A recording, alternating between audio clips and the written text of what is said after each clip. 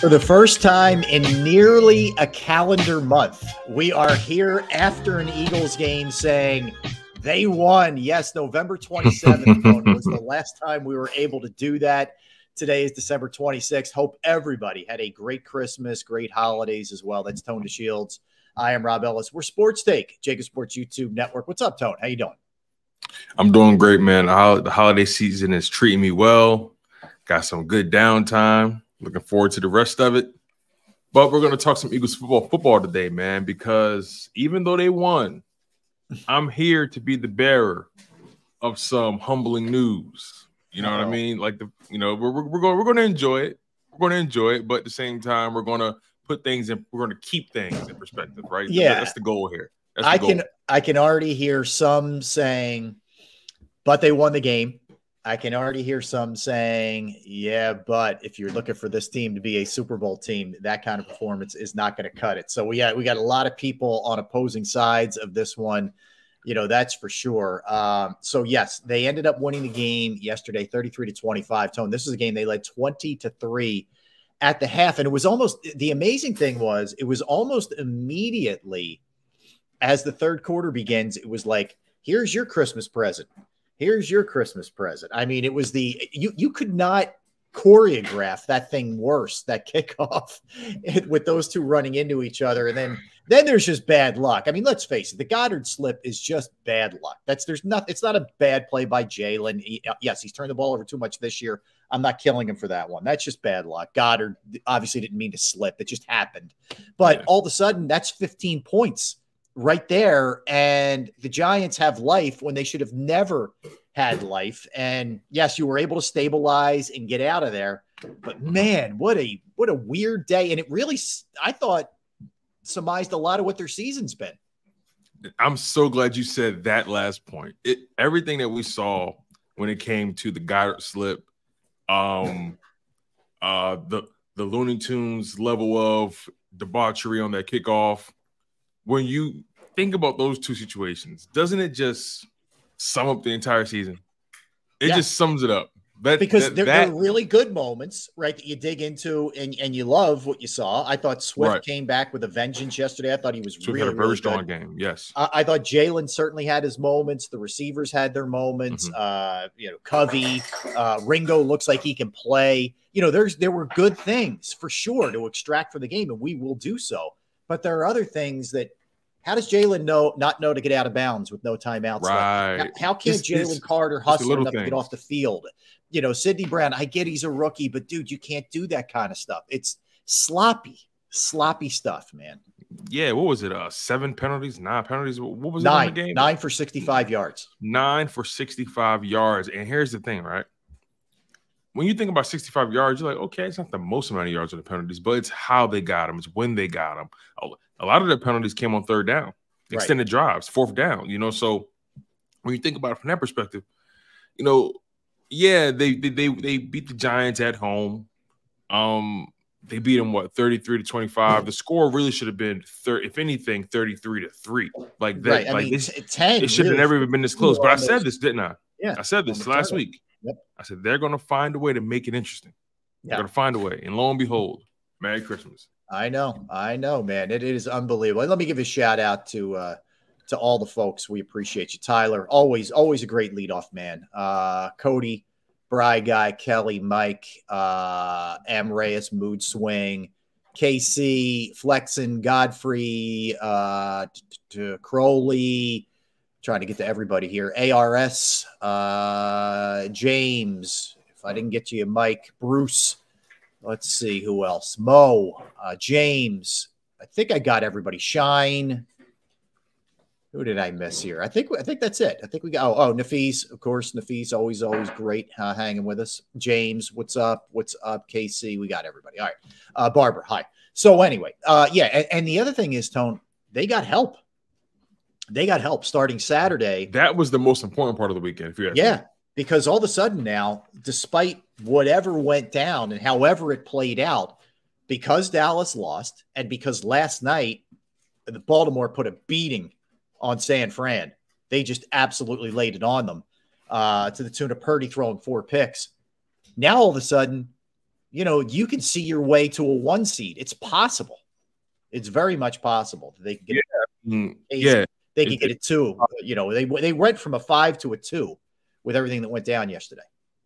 Right, right. You know, um, it makes you think about the remaining schedule for, the 49ers now. Because um, don't they play the uh who do they finish the season off with? Rams. Rams and who else? Yeah, yeah. So the Niners go to Washington uh this this Sunday. Um, and then they should, they should win that game. They should. I mean, Washington's completely cooked, but uh, they should. But then that Rams game, I know it's at San Fran. That's not a lock. No, LA's it's way more interesting dangerous now. right now. Yeah, I agree. Yeah, I agree. I, I I think LA is one of the more dangerous teams in the uh, NFC right now. Um, the way they're playing. Uh, sure, sure they have their limitations, but if you that's the kind of team right now. If you let them hang around, fourth quarter, they can they can catch you. So so you know a lot of things happen for, for the Philadelphia Eagles that were you know that was beneficiary. Cowboys losing, Niners losing, Eagles obviously win. Um, it just goes to show you that the Seahawks loss is going to haunt them for the rest of the season because if or, they or the Jets. Or, or the yeah yeah yeah yeah yeah I mean Seattle you're right maybe even more because it's in conference tone maybe yeah way, that, but here's that's the, what I was thinking about the weird thing with Seattle uh, with Detroit is Detroit locked up the NFC North, but they're the three right now. Right. But the Eagles have the tiebreaker right now over them based on strength of wins in the conference. As weird as that is. Okay. So wins, what does that mean? For... Wins. Yeah, they win the tiebreaker over best based on strength of victory right now. But I think because the Eagles play, you know, the Giants and the and the and the uh, Cardinals over the next two games, who were you know essentially chumps, terrible, you know, one three win team, one five win team. Mm-hmm. But because Detroit has Dallas and Minnesota, both who have far superior records, that they could they could potentially surpass the Eagles if they win those two games. So anyway, there, it's a long build up to tell you you absolutely in all of us, as, as hard as it is to swallow, have to be rooting for Dallas this week. You need Detroit to lose. Well, you know, I had uh, Detroit's going to Dallas for that game, right? Detroit's going to Dallas for that game. Yes. Yeah. So I mean, it's par for the course. Um, the Dallas Cowboys are going to beat the, the, Lions probably thirty to twenty three or something like that, thirty three to twenty. Which is so, they're they're dominant at home. Yeah, they don't win exactly exactly. And um, you know, I don't really the, the Lions are a good team, but I still think they're a year early. Uh, but but but regardless, as far as, as far as the Eagles go, look, they came into the game, they got the win. Yep. They got they left with exactly what they needed to leave with, and that was a win. But there were moments in that game where we said to ourselves, this team still has a long way to go. You brought up something interesting earlier that really was a mind was mind boggling to me. The Jalen Hurts um sideline run where he didn't go out of bounds. Yeah you know, it's again certain things that have just been a microcosm of this season, the mental lapses and um the mistakes, and they, they got bailed out because of a weird penalty from the the, uh, the Giants defender, right? He held onto the ball and they called delay a game or something. That's it, it, they got a break. I've, that was I've a never break. Seen that before. Yeah, it was a gift. So when you think about from that perspective, you know, you allow this Giants team to have some kind of confidence when you were dominating them from from the beginning of the game. So the third quarter was a wash for the Philadelphia Eagles, and that's how the Giants came back into it. Mm-hmm. You fumble on the opening kickoff. It's just it's it's just certain things that that can't happen when you're playing a team like the Giants. You gotta you, you gotta beat them into submission. Yeah, I mean that game should not have been close. The Giants were there for the taking, and, and you know they they pulled the quarterback at the half. And, and look, I think Tyrod Taylor's better than DeVito anyway, but mm. nonetheless, you're, you're down to your third, fourth quarterback, whatever, for a team that was begging to be beat, that basically has one weapon in, in Saquon Barkley, right? And to allow that 70 yarder late to Slayton was terrible. To, to to do all the things that allowed the Giants to get back into the game along the way was mm. unacceptable. And again, I know there's the school of thought, like to me, and you know, this is where I was earlier in the year. A win's a win if it's week four or five. A win isn't a win when it's week 15 or 16 and you're looking to try to, to get this thing turned around for the playoffs. When if you play Detroit or Dallas or San Francisco, you can't give them 15 points and expect to win. That's the me, problem that I have. Let me, let me ask you this, right? Has your confidence moved at any point um, after last night's performance? It didn't move either way, and that's not good because I, I I come out of the game with as many questions as I had going into the game. Like there mm. wasn't there wasn't a whole lot of things that were solidified to me. Like like maybe maybe Shaq Leonard can play. You know, maybe just took him a couple games to get to get acclimated uh, to the Eagles system and new players around him and all that, and that's understandable. You know, maybe that's something. Maybe we're seeing the Kelee Ringo can play. Maybe they can they can they've shown themselves last night that they can run the ball again. You know, because they went for 170 rushing yards. Maybe there's little things that you can glean from that. Maybe, but ultimately I still see the same team that shoots itself in the foot. Mm-hmm. I see the same team that doesn't know how to put teams away when you get a lead, that lets them hang around. Bad teams, mind you, not not even good teams. Uh, I see a team that still makes you know repeated mistakes. I still see internal issues. AJ Brown won't talk after the game. DeVonta Smith doesn't want to hear the fact that he got a thousand yard, you know, went over the thousand yard mark he's going to tell you how they're not playing good football right now. Like, mm-hmm. so there, there's a lot. There's a lot going on with this team right now, and I, I need these. I need it. These last three games to show me that they can get moving here and and and start to hit the you know the, the takeoff here on the uh, on the ramp. Yeah, um, I think I think there's a lot of frustration on the offensive side of the ball because they look around and they see Jalen Hurts they see DeVonta Smith, they see AJ Brown, they see Dallas Goedert, they see the offensive line, they see Swift doing what he's doing. Everyone's looking around like, why are we struggling to all people? And it goes back to do they believe in what they're being taught? Do they believe in the game plan? Right. Do they believe in um, their leadership at the coaching at the coaching position? Do, do they trust it? Mm-hmm. And that level of frustration to me is damning. And how can we go into the playoffs with a team this disjointed, right? How can we how can we trust the outcome? Now, look, it's it's still two games left to be played in the season. Once you get into, into the playoffs, anything is possible. Sure. So far, we already know San Fran's dealing with some key injuries right now. Trent Williams and Brock Purdy with a stinger. He'll be back.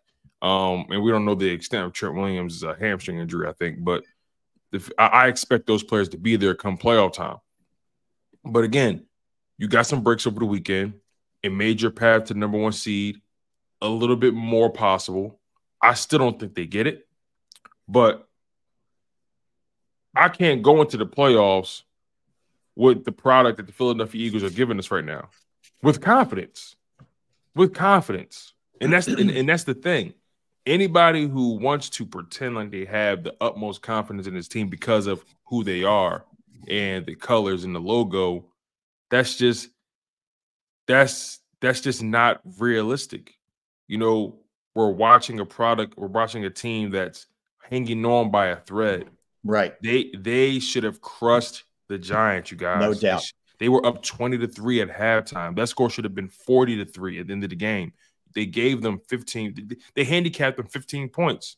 Yeah. You know? Right. So and this is the time of year this stuff has to be getting cleaned up, Tone, rather than surviving an awful Giant team. And that's that's what they did last They're night. bad. Like, like the Giants are like bad. If the Giants were a good team last night, they probably win that game because of the mistakes the Eagles made.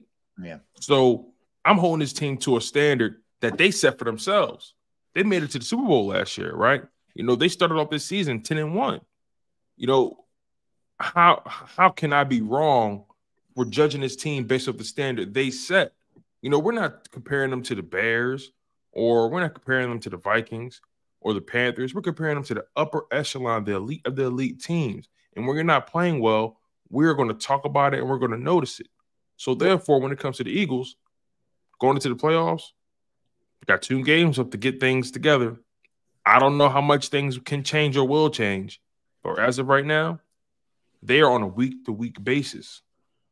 Well, yeah. So I, I think a couple of things. If we were comp- if this was 2021 and you were coming off a four win season and it was Nick's first year and Jalen's right. first year starting, That's a different Then- circumstance. Yeah, you're not you're not looking at this with the same kind of critical eye. You're just saying to yourself, "Hey, man, they're they're going to be in the playoffs, and whatever happens is great. It's gravy." right. That's not where we're at. You know, we're we're at measuring you versus yourself from last year, where you got within three points of beating the Chiefs for winning all of it. So that's where this is. There's no other place to go with this. Now they they have two games left, and that's the, the good news here is there is still time to clean this thing up. I, in my opinion, like I, this is not they can't do it. I just needed to start seeing it last night, but they can still come out and play strong the next two. And I think how I think it's going to play out, Tone, most likely is I don't think they're going to be the one seed, which I would prefer that. Obviously, they get a bye week; it's a less you know less games they have to play and all that. But the, the advantage of having to sort of play hot going in is you can ride a wave of momentum. So if they can get it going in these last two weeks against the Cardinals and the Giants again, and carry that right into that first week, uh, there is something to be said for that. And I think they can get going here. Um, they're weird. The last two games are going to be weird. Like Gannon's going to come in with some intel on them, obviously, from Mhm. having coached that side of the ball, which will help, I think. But they're not talented. I mean, I, I was doing some some Cardinals numbers. I, so defensively, they're 31st in scoring, 32nd against the rush, and 16th against, 16th against the pass. And they're 26th in scoring and 29th in passing. Like this should be a team you destroy, even with the. Gannon things. But we said that going into the Giants game last week. So, or yesterday. So it, you know, it, I don't know what to make. I don't know how to. I, I it's hard to prognosticate this team and figure out exactly what they're going to do and who's going to show up. They play down the level of the competition.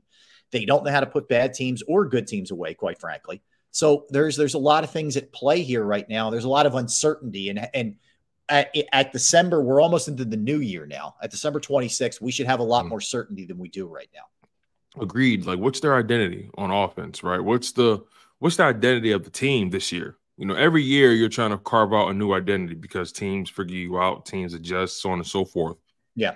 That's where this team has failed this year. They've they've failed to really carve out or establish what they want to do any given Sunday. Yeah. And that's something that comes from the top, right? That comes from the coaching staff and it comes from the front office, right? What is the what is the front office trying to achieve with this roster they put together? And then what can this what is this coaching staff, you know, trying to build, you know, with the pieces they've been given?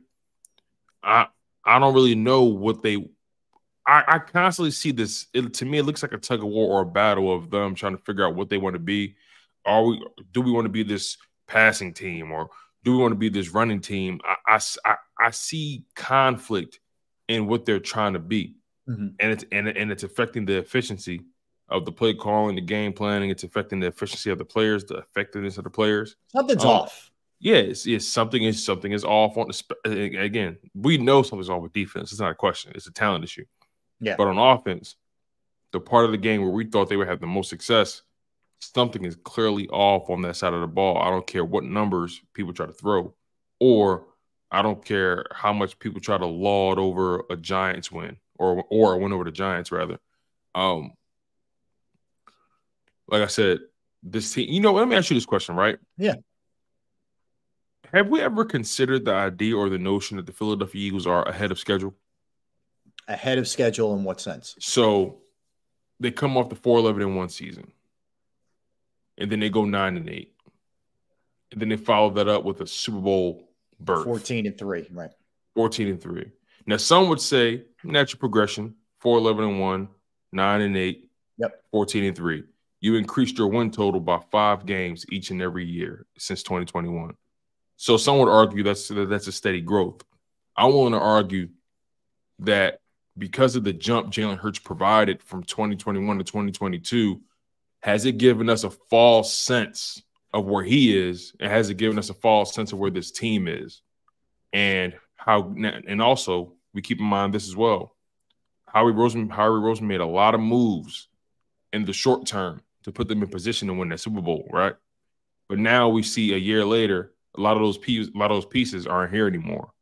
So what what Howie Roseman built for 2022, A, was it sustainable? And B, was this team was this team ahead of schedule? Because I now don't think they're, yeah. Go- I'm sorry, go ahead. go ahead. I, I don't think they're ahead of schedule. They're too old to be ahead of schedule. Mm. Get too many older players for that to be the case. For them to be just a bunch of kids who who overachieved last year, I don't think so, Tone. I, mm. I think they, I think they've taken a bit of a step back, but it, it's not over yet. I mean, they took a step back. They've taken a step back this regular season, but they are mm. still eleven and four, and there are still two games to go. I mean, they could finish thirteen and four with a dramatically harder schedule than they had last year. Yeah. The problem is if you're looking at it beyond just W's and L's, like if you're looking at how they and, I, and this isn't a style point thing, it's just a projection thing. If you if, if they're playing the if they continue to play this way, I don't see a deep playoff run. Mm-hmm. But if they get their act together the next two games, you know, and then maybe win a first round game against a playoff worthy team, then all of a sudden they start feeling themselves. Maybe they made some corrections. I mean, I will say this: the the turnovers that happened last night were not the prototype that we've seen this year, where Jalen has a bad interception or some or AJ Brown or DeVonta Smith gets stripped or whatever. That's not what we've been seeing. It was, I mean, let let's face it, as comical as it was with the fumble on the kickoff, I don't think we're going to see that again. I really don't. Um, and then a, again, the other one was sort of bad luck. I'm not making excuses for them. It, it gave the Giants 15 points, but nonetheless, I, no. So I wouldn't say that. I would say that they're they're. Cl- I would say they're um, where they should be, honestly. And, and they set the okay. they set the tone last year and set the mark last year. Is what I would say. Fair, fair, fair enough. Now let me take it a step further. This coaching staff, let's just say Nick Sirianni, because the, the coordinators and DCs have changed over the past three years. Nick Sirianni, has the Eagles' success that the players have generated, has their success given us a false sense of what of where Nick Sirianni is as a head coach and who he is as a, as a head coach? That's is possible. That, is that the better question? Yeah, I think that's a good question. I think right now we're seeing some things internally that you worry about. Um, you know, are, are they able to scheme their way out of some of the issues? Is there communication issues? Are guys pissed off? You know, for for certain reasons, for whatever reasons uh, that, that get behind it. Look, some of this too is I, have seen people in the chat talking about some of the things that were going on on the sidelines. Um, I will say this: that kind of stuff takes place a ton during a game, where coaches and players might get into a, a little heated thing. Coaches and assist head coach and an assistant coach might get into it. I, I think there are a lot of things going on. My question with Nick would be is there more to him than just that emotional connector, which is really important? But is there more to him schematically where he can get them out of this thing, um, get them out of some of the predictableness that, that, that's happening offensively? Uh, you know, and they, and they obviously made some mistakes with the hires. I mean, there, there's they straight up admitted it when they when they pulled the plug on Desai calling plays, and we don't know yet on Brian Johnson. Um, so I think there are some questions along the lines with Nick for sure. I you know, agree with it, it's interesting. You brought you brought up the emotional part of his skill set. Here's the thing: emotions are fickle. Yeah, and just as quickly as someone loves you, they can easily hate you. Hundred percent. So being the emotional leader of a team that that's fleeting when you really think about it in the long term. That's fleeting. Who are you beyond the rah-rah? Who are you beyond just having these quotables or just knowing what to say? Who are you beyond that? Who are you on paper right? Like what do you when when when the emotions are fleeting what do you fall back on? Can you fall back on your football intellect? Can you fall back on um, you know, your skills as a head coach to put guys in position, right? That's the part where I'm struggling with Nick Sirianni right now. Because again, where are we now? We're in this, we're in a situation where the emotions are definitely fickle, right? You got some fans feeling one way, another group of fans feeling one way. Um, we've been pretty much, um, you know, uh, th- there's been a polarity between different sides of the fan base because, uh, because of people viewing this team differently, mm-hmm. right? Last year, I felt like we all looked at this team singularly um, we are we are on the same accord with this team that they are the best team in the NFC, one of the best teams in the NFL, and they belong in the Super Bowl. We all were on that same line of thinking. Now there are many more lines of thinking that the Philadelphia Eagles have allowed because of their play when it mm-hmm. comes to how we describe them. So again, I look at Nick Sirianni as a guy who, yeah, you may be the emotional conduit of this team, right? You may be a spark plug like that, but what who are you beyond that? What do you provide when the emotions begin to fleet? Who are you when the team is feeling one way and the other side of the ball is feeling another way. Who are you? How can you balance that? And I don't know who he is, and I don't know if he's proven that he's anything beyond um, the emotional regulator of this team. Yeah, I mean, and the other thing I would just say to keep in mind, you know, when it comes to AJ, uh, you know, not speaking, being unhappy, I, couldn't tell you what set him off. You know, um, there could be any number of things, but we know that this is who he is. You know, he, he's a guy who's who is highly volatile, highly emotional. Um, you know, like the, I thought DeVonta Smith handled it perfectly. He spoke with the media, but he also said that you know what, we're not playing well enough. Like when you do what AJ did and duck out, it it brings everything open for speculation. That's what it does, and it's it's a lack of leadership on his part. But you know, you deal with it because you put up with divas. That, at least that's what we're told. So I mean, that that's kind of what it is. I, I don't. I again, I still think there's enough uh, fortitude and guts and heart on this team to get it together. But you know, we, we, we you're kidding yourself if you're satisfied with the way that that went on, on yesterday. I just I really I know you won, and that's the end all be all. I get it, but it didn't look like a team that was ready to start turning the page and get it rolling into the playoffs. For me, at least, it didn't look like that. Um, all right, so let, us do this. Let's come back. Let's let's as we usually do game after. Let's dive into the, both sides of the ball and, and special teams as well, uh, because there was some real good and some real bad on the special teams. But we'll get into all of those kind of things because the uh, the running attack returned. We'll talk about Hurts. We'll talk about AJ DeVonta. Total yards was high. Uh, first downs were high, but an old bugaboo with the red zone returned as well. So let's dive into all those kind of things, Tone, when we come back. He's Tone Shields. I'm Rob Ellis. We are Sports Take, JAKIB Sports YouTube Network. Let's talk about Bravo Pizza of Havertown. Yes, Bravo Pizza of Havertown, family owned since 1985. I've been going there since I was a kid. Uh, they are open seven days a week. They have the most fresh and widest variety of food that you could possibly want. 20 different styles of pizza. They have slices to go. They have the you name it, they'll make it specialized pizza your way. Not just pizza. They have fresh pasta, sandwiches, wraps, wings, salads. They're also committed to the community. They have fundraisers for charity schools, little leagues, where the proceeds go to those organizations. You could follow them at the Bravo Pizza of on Instagram and Facebook for daily specials and promotions. They're located at 1305 Westchester Pike, Manoa Shopping Center in Havertown, Pennsylvania, 1305 Westchester Pike, Manoa Shopping Center, Havertown. Give them a call right now, 610 446 3810, 610 446 3810. Bravo Pizza of Havertown.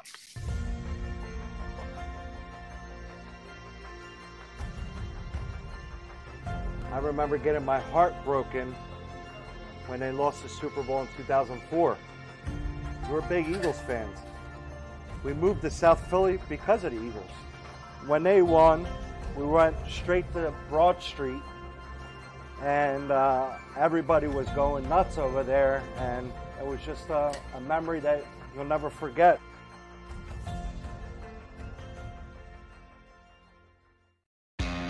Go to get your game on. Go for the beers. Go for the cheers. Go for the hit and the hits. Go for the stakes and the stakes. Go to get your parlay on.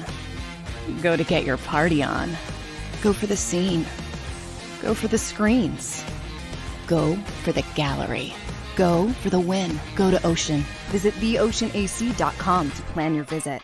At Pond Lehocky, we've recovered billions of dollars for our clients, and we're confident we can do the same for you.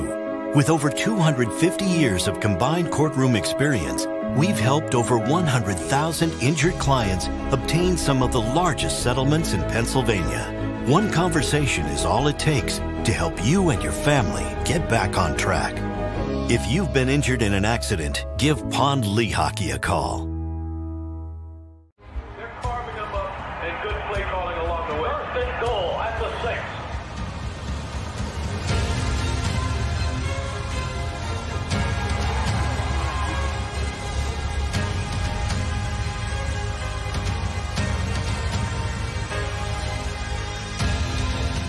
Field of life, Firstrust Bank is there for you. Champions on three. One, two, three. Because Philadelphia dreams deserve a Philadelphia bank.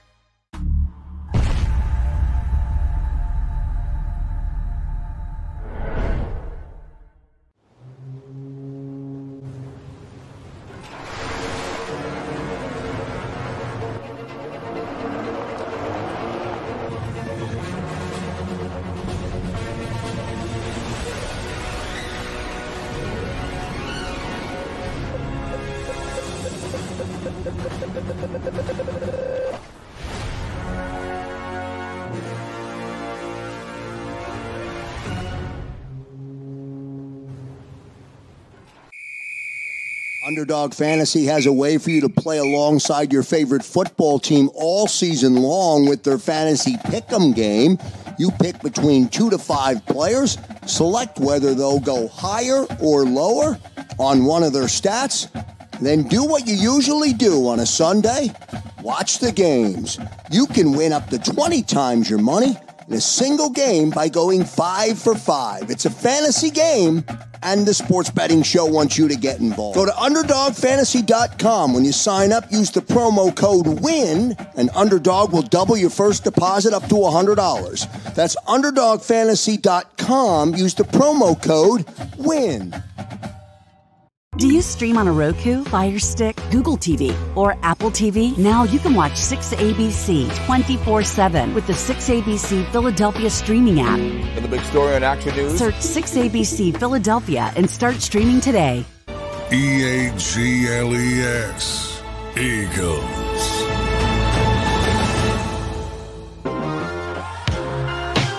We are back. We are. That is Tone. I'm Rob. We are Sports Take, JAKIB Sports YouTube Network, hanging with you. Day after Christmas, Tone, did you get anything good? Did you get any coal in the stocking? Were you were you were you a good fella that you didn't get anything? No, I didn't get any coal. Um, but I definitely got everything I wanted, man. Um, you know, I'll put it that way. Every, everything worked out. Had a stocking full of goodies. There you go. There you go, man. Beautiful. uh, all right, I'm glad. I hope everybody had a great day. Did it surprise you anything? Uh, any any sweaters, any button ups, any uh any I Cheerio, a- any Cheerios memorabilia? no Cheerio related stuff. I got um I got a nice quarter zip Sixers uh which I like. It's it's white. Maybe I'll grab it during one of the breaks. I'll show it to you. Uh which was nice. Okay. They got me one of those.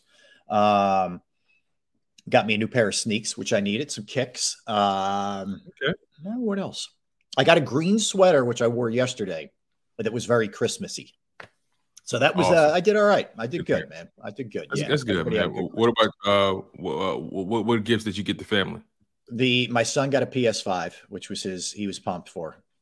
Uh, so he's Okay. he, he's rolling with that. He's got that already set up in the room, and he's cranking that out. So we'll never see him again until he goes back to college. Obviously, with that, uh, my daughter got uh, clothes, clothes, and more clothes. You know, so uh, it was good, man. We we had a good uh, good Christmas. had to No, work last no, night. uh, e- no easy bake ovens.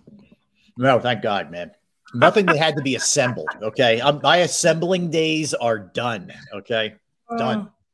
That's for Oh, sure. man. No, it was all good. It was all good. I mean, and you guys, you had you had family in, or was it just you guys, just you two? Uh, so over the weekend, my in-laws did come, um, you know, for uh, for a day or so. But as far as Christmas Day, uh, just just me and wife, just taking it in. Um, uh, watched a bunch of Christmas movies, played games. You know, we we we you know just relaxed. It was pretty good. man. Good. I'm glad to hear it. I'm glad to hear it. All right, so let, let's um let's dive into the offense a little bit. So uh Gainwell, I'll, I'll start with this on the ru- the rushing attack. So Gainwell and Swift and Jalen too, to an extent. I thought they ran the ball well. Um, DeAndre, 20 rushes, 92 yards, 4.6 yards per carry, and a touchdown.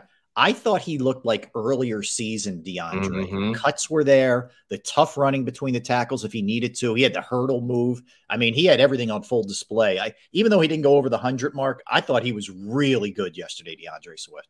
I agree. I, I feel like DeAndre Swift was the game was the game changer throughout that whole game. I, I feel like DeAndre Swift was the player of the game for me. Um, Oh yeah. he uh, if you ask me, he kept he kept their offense on schedule. Um, for the most part, um, he had big runs. He he turned he turned what would have been losses or what could have been losses uh, into big runs. Um, he was you know he was just a sight to behold. And then and then you couple in Kenny Gainwell's you know he, he had a he had a key twenty two yard run. Um, Jalen Hurts ran the ball very well, but DeAndre Swift, I felt like he was arguably um the, the the player of the game. That's one of those things that, and we mentioned in the last segment. If you're if you're going to extract things that you can build on next couple of weeks in the playoffs, there's one of them. Okay, you get back to being able to run the ball pretty well.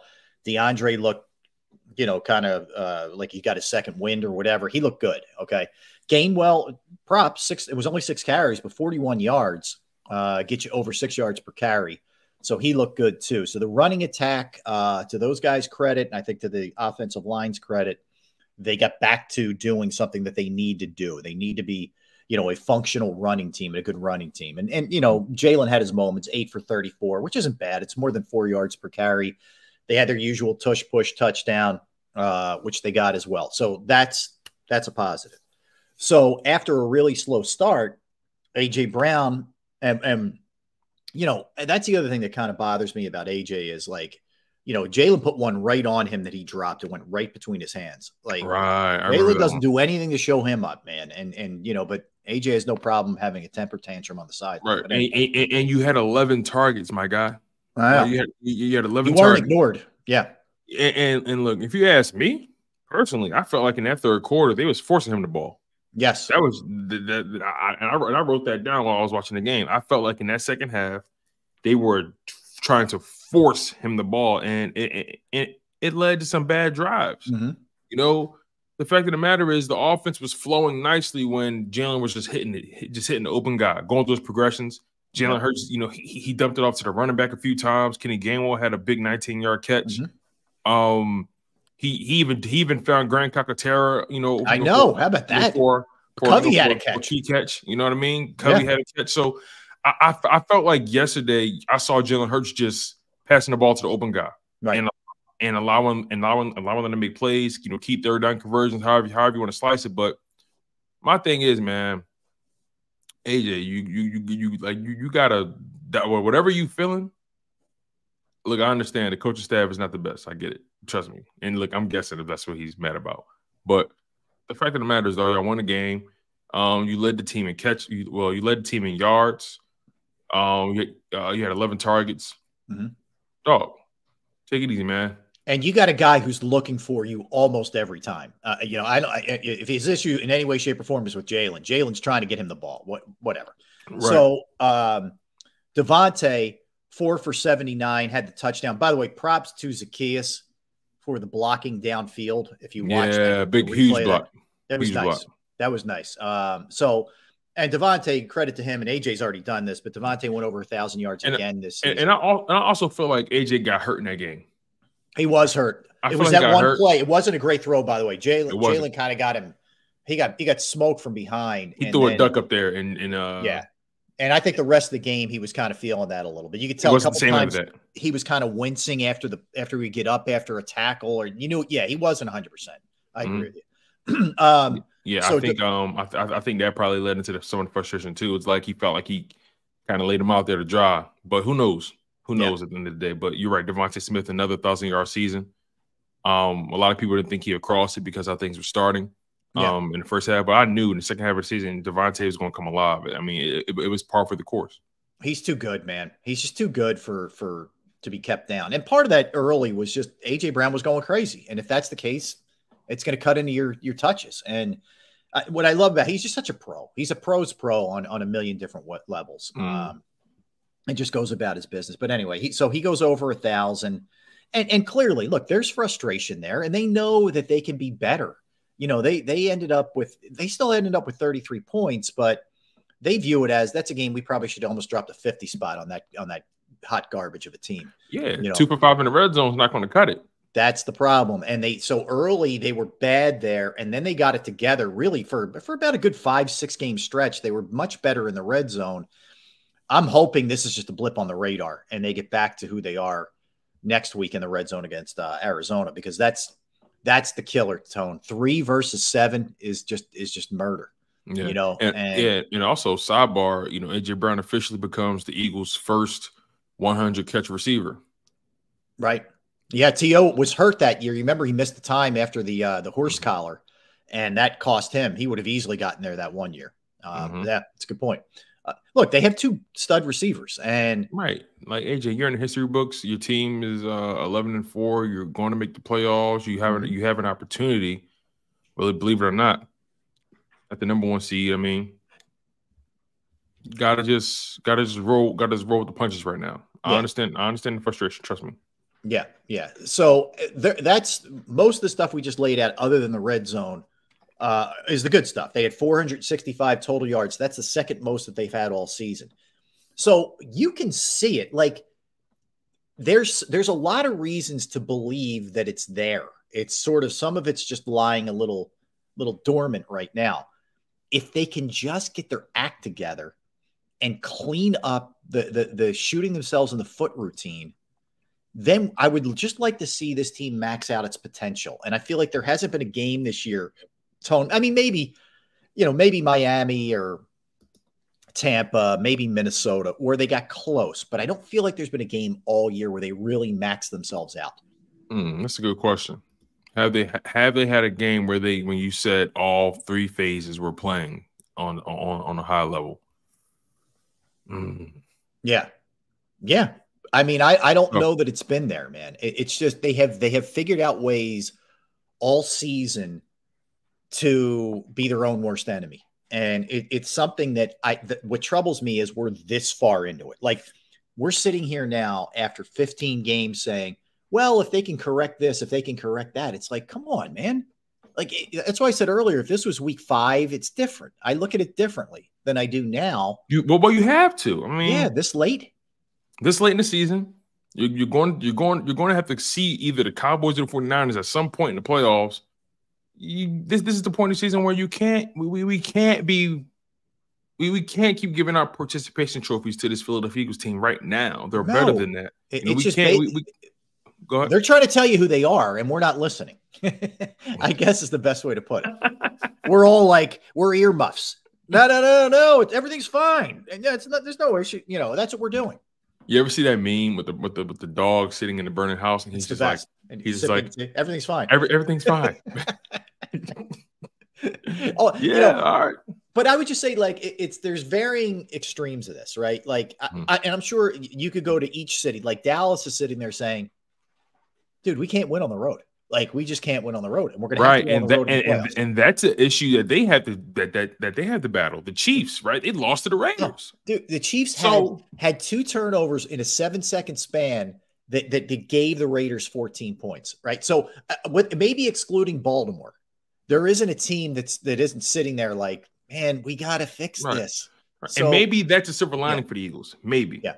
But our job is to diagnose the Philadelphia Eagles issues not right. those other teams, right? Yes. And we and we look and when we look at the Philadelphia Eagles, and and then we compare them to their counterparts in the NFC, they all have their they all have their uh their deficiencies to some extent. Yeah. Um maybe the most complete team, well, the most complete team in the conference is the 49ers, but they have certain quirks about them as well. Mm-hmm. That if if one piece isn't doing their job, it's like the whole house of cards comes down. Like they're very reliant on each cog, and if one cog isn't doing their job, they have a hard time pivoting off of that.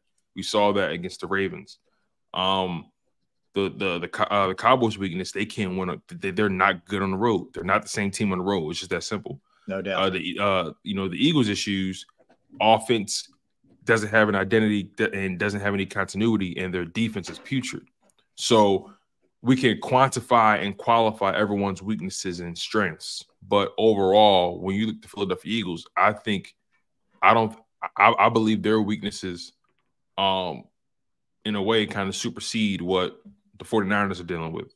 And maybe what the Cowboys are dealing with as well. What do you think? Yeah, I would agree with that. I, I see. I think that despite what happened to the Niners last night, and Baltimore just went in there and punched them in the absolute mouth, and they made Purdy look bad. And on the road at that, they they did a lot of amazing things. Baltimore's they're playing at a different level right now.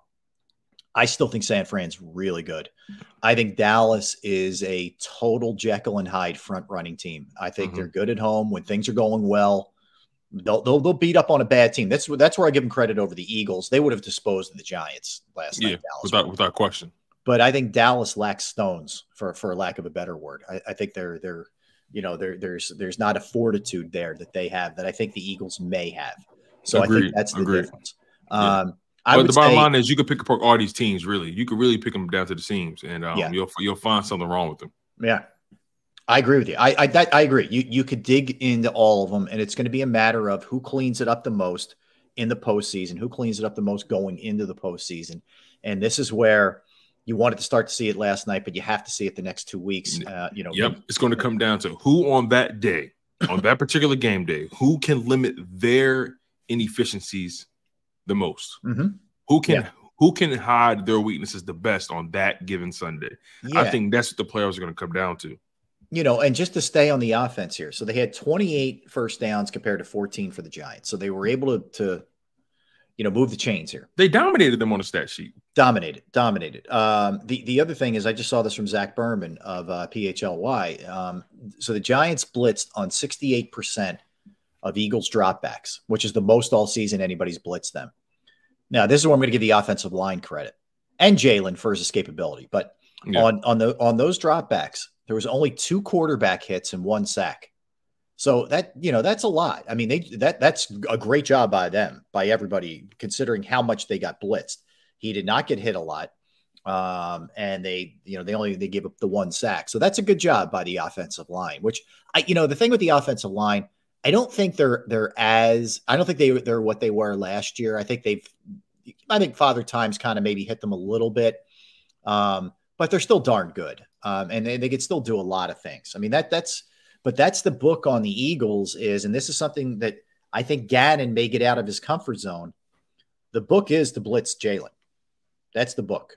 Right. And whether he needs to do a better job, you know, with his hot read, with because there's going to be somebody open, uncovered if they're blitzing, odds are, or they need to do a better job calling it up and and countering the blitz as well. Either way, but the I thought the O line did a good job as far as that went. Yeah, over the past three weeks, he's only been sacked two times. Um, right. so that's pretty good, all things considered. I mean, you only give up a second against you only give up one sack against Dallas. That's pretty good. Right. No sacks against Seattle and one sack yesterday. And um, so they've been doing a pretty good job of protecting him, all things considered, mm-hmm. over the past three weeks. Uh yet I still feel like there's there there's something off with Jalen in the pocket and, and, his mechanics, right? I mean, I don't see a guy who's fully playing up to his own expectations. Um, he had some moments like that. Keep like that third and twenty conversion was insane. Oh my god! It's I, I, think it's one of the best throws, if not the best throw he's made all year. Like people will say that Zaccheaus touchdown, where where he was rolling to his left.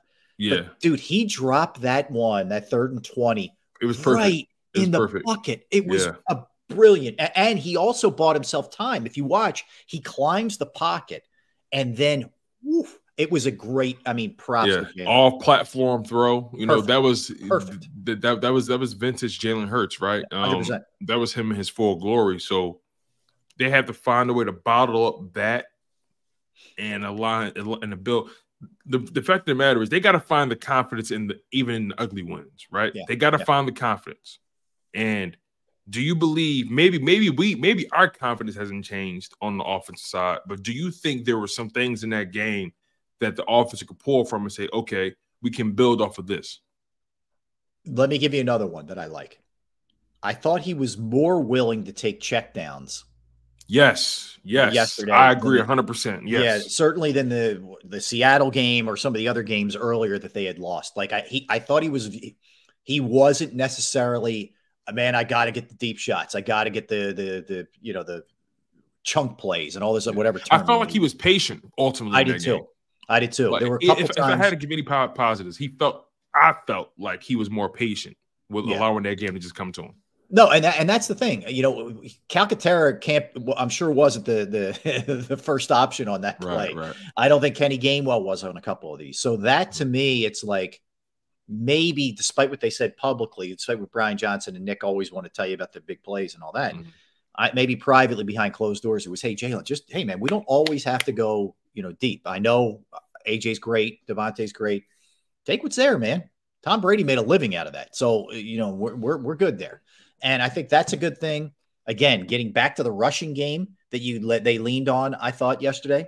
Uh, even even for a stretch, I thought it got too far away from it, but they got back to it. All in all, I thought Jalen was pretty decent. I mean, his stat line is going to be impacted by a pick six that I really don't blame him for. So that's a little bit uh, of an issue. Again, I, I think that I think there were two things in that game that we won't see again. We won't see that awful kickoff nonsense that, that happened, which resulted in a fumble. I also don't think Jalen Hurts is going to make a mistake again of not getting out of bounds on that play. I truly believe that. Like it was a it was a poor judgment play, and he usually doesn't have that kind of poor judgment. He's usually very aware of what's going on. And I think 99 out of 100, he ducks out of bounds. I'm not sure what he was thinking. He made a mistake, but I don't think you see that again. Yeah. Um. Another another person I was impressed with on offense was uh, Dallas Goedert. I felt like they made it a point to get him involved early in that game. Yep. Um, seven catches, 71 yards um, on nine targets. Longest catch of the day was 21 yards. I felt like I felt like there was still, I felt like there was so much meat left on the bones for Dallas Goedert Yeah. to, to continue to eat. Yep. Um, I personally believe this offense is significantly better when Dallas Goedert is the focal point. I just believe he's the most dangerous person on the field because of the mismatches he creates, because of where he is on the field, his ability to just brutalize the seams and brutalize linebackers and safeties. I just believe he's a mismatch nightmare um, more times than not. And when he's eating, I think it makes everyone's job that much easier. Yeah, it- it's been a mystery all year. I know he missed time, but when he was on the field, they they haven't been able to get him in any kind of rhythm. It feels like, and yeah, I liked it last night. I I felt like they were they were utilizing him a lot more uh, than we had seen, and yeah, it was nice to see some other guys get involved too. It just it just felt like there was some some flow at at, at moments. There were spurts, you know, at, at moments of, of where this thing was was getting there. You know, I, I think one of the other things, Tone, maybe as much as we all the standard is last year, you know, with, with the comp. Mhm. I I don't know that that standard's attainable for this team just with the personnel that they have. I think they need to create a new standard. Yeah, right? You know, um, that team last year, we're never going to see again, right? Yeah. That that that that was what it was, and I think it's about time we start to detach from what that was and focus on what is. Yeah. This team, instead of trying to recapture what they had last year, and they need to find a way to maximize who they are this year, and that can be a battle in and of itself. You keep saying to yourself, "Well, last year this, last year that, that was then." Different circumstances, different teams played, different injuries um different different play callers. It- it's just a different situation. So i think it's about time we start living in the now with this team.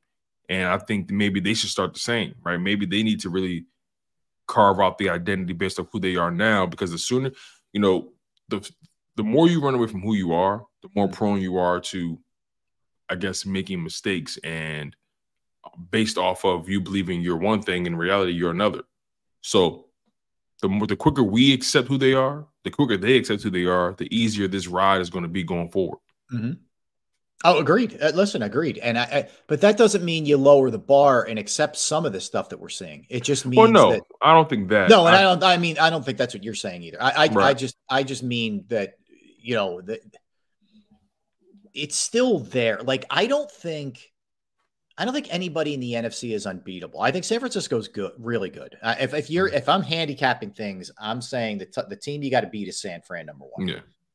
But I don't think anybody's impossible. The Ravens may turn out to be just this juggernaut. I don't know. We'll see. I Mhm. mean, Jalen or uh, Lamar's playing himself into into MVP every MVP conversation Yeah. despite not throwing a ton of touchdown passes. But you saw Yeah. last night what he's able to do.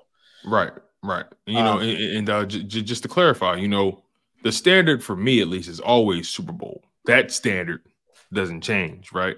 I think what I, I- think what I'm advising is the method and how that's achieved, Mhm. because I think they've been trying to do things the exact same way they did them last year. And Nick Sirianni admittedly said this. They haven't done enough to pivot. They haven't done enough to recalibrate what they do based off of who they are from an offensive perspective, based on what they what, who they are defensively, what they want to accomplish, whatever it may be.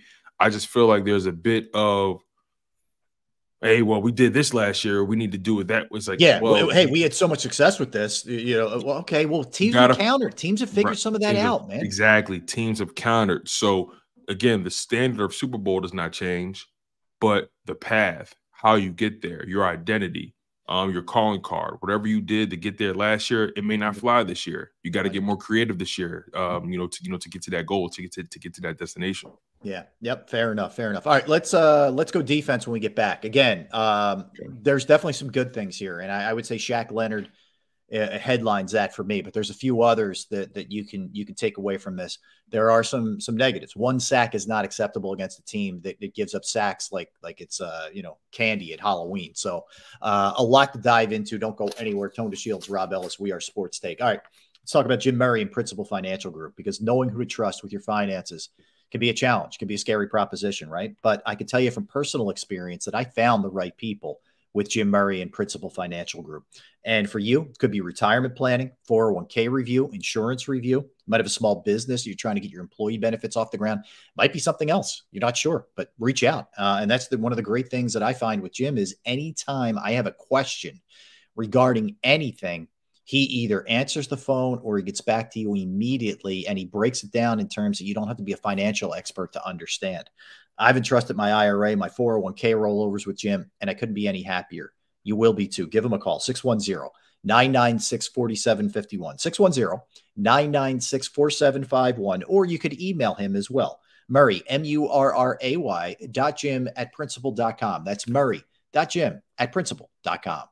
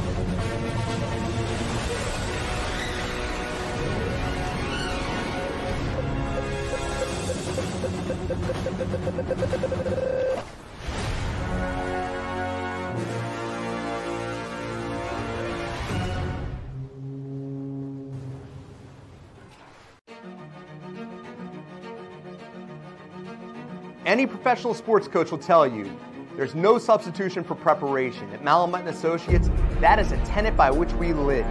We prepare from day one for victory. Anything less is not acceptable. Go passionately. Go fearlessly. Go confidently. Go Birds!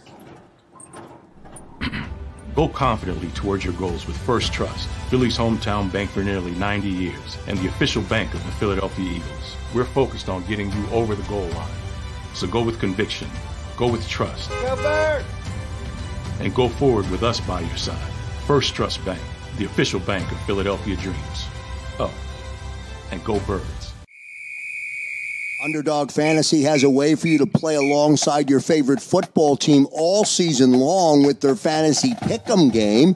You pick between two to five players, select whether they'll go higher or lower on one of their stats, then do what you usually do on a Sunday watch the games. You can win up to 20 times your money in a single game by going five for five. It's a fantasy game, and the sports betting show wants you to get involved. Go to UnderdogFantasy.com. When you sign up, use the promo code WIN, and Underdog will double your first deposit up to $100. That's UnderdogFantasy.com. Use the promo code WIN.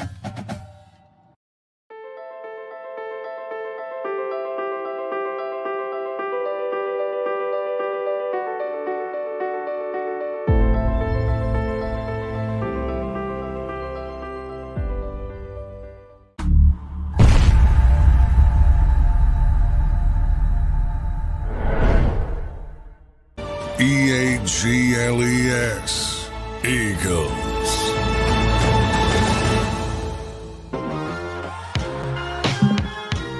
Tone DeShields, Rob Ellis, hanging with you. Sports Take, JAKIB Sports YouTube Network. Hope you're doing great. Hope you had a great, great holiday over the weekend. All right, let's look at the defensive side of the ball, Tone. Eagles win 33 25. And really, if you take away those turnovers, which do not fall on the defense, the pick six doesn't fall on the defense, the special teams issue does not fall on the defense. Yeah, they really gave us 10 points. Um, the only problem is with the 10 points was the, in my opinion, was the late, what was it, 69 or 70 yards, whatever it was, to Darius Right, right. Slayton, you know, and just allowing the Giants, oh, they get down to, I think, the 25 on that final drive as well, which ended up in the, in the Ringo pick uh, at the very end. You just like to see them be able to snuff out some of those teams, especially, you know, you're talking about a team that really is limited. You know, you got you get fortunate with a Waller drop. Boy, what a- what a terrible that move that was for them. He- You know, they traded for him. Not only is he just not that good, He's hurt all the time. On top All of it, he doesn't make plays. He doesn't make plays. Yeah, the Giants. I mean, they're they're just a dumpster fire of just bad decisions and uh, and misallocated um, resources. Um, but you, I mean, you bring up a good point. The Eagles' defense, all things considered, they really only gave up ten points. Um, pick six, and then uh, opening kickoff at halftime. I mean, the Eagles got to be better than that. I think that was one of the that was easily the worst special teams blunder of the season the special teams done has done a pretty good job of protecting the football. Mhm. You know, um, I mean, even Britton Covey had a little bit of a bobble at one point in the game. He did. Yeah, he got on it, but you're right. It was a, a Um, ske- sketchy moment there for a second. Right. So special team came with came with its highs, but it definitely had its definitely had its lows that led directly to points. And then, you know, the Goedert slip led led directly to points. So Yep. mistakes on the special teams and mistakes on offense led directly to uh 15 points or 14 points Mhm. uh for the uh you know for the New York Giants.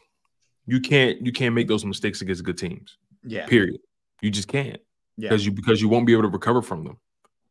Uh overall defense though, I mean you held the Giants to what under how many total yards? Like under 200 yards, something like that. What was it? Yeah. I mean, all in all, you didn't. I mean, Saquon had to I'm sorry, held them under 300 yards, held in to 292, held in 59 plays, um, 4.9 yards per play, held them to held them to uh, 186 passing yards, Mhm. 106 rushing yards. I mean, not bad numbers at all. No. Um, Saquon but had to earn it. So, Tone, he had 23 carries for 80 yards. That's 3.5. I'll take that. yeah, yeah, I'll, I'll take that as well. Yeah, uh, and and th- th- what's what you don't like is Slayton had the 70 69 yarder and his numbers look inflated from that. Three catches, 90 yards, right? Nobody else really did much else uh, for the most part um, for them. And you know, Tommy DeVito showed you what he is. Tyrod Taylor, you know, he's a third stringer, he's a backup. Like it's Right. That's why I said last week, I'm not worried about the Giants. The Eagles are going to find a way to make the game. that's the problem. Yes, And- the Giants, and- the, the Eagles were like, Giants didn't do anything. No. Let, us make this clear too. I don't want people to get us misconstrued here. The Giants are terrible. They didn't do anything at all to win that game. But the Eagles gave them every opportunity, you know, for, you know, for the Christmas Day miracle. yes, Gave them every opportunity. So, I mean, do with that what you will. But me, that's a big problem for me. That's a mm-hmm. that's that's a that's a hallmark of concerns. Like it's it's it's it's it's embedded on them all year long, making these kind of mistakes. Think we lost my guy Rob here. Rob, you there? Let's make sure we got this thing going. All right, but nonetheless, yeah, I think we lost Rob for a second. But um, yeah, Eagles fans. I mean, I, I, I look at this. I look at this Eagles team as a team that's way better than what they've shown us, and quite frankly, when I look at the quarter, well, let, us start on let's, let's stay on defense. When I look at the linebackers, right, Shaq Leonard had a good game. He played well. Um, Reed Blankenship, you can't over pursue like that. It took him forever to get it, it took him forever to get out of his back pedal. So there we go. I think we lost Rob. So we're going to try to keep this thing going, you guys. I appreciate y'all. Appreciate you guys for locking in on Sports Take for as long as you guys have. So I look at this team as a team that's better than what they are, but on but on the defensive side, right? When you look at them from top to bottom from a personnel standpoint, are they as good as we think they are? Are they as good as we expect them to be? No and no. So in the offseason, they're going to have a lot of questions.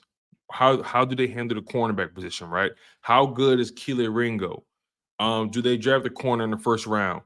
Um, safety, how good are they at safety? Is Reed Blankenship the long-term answer, right?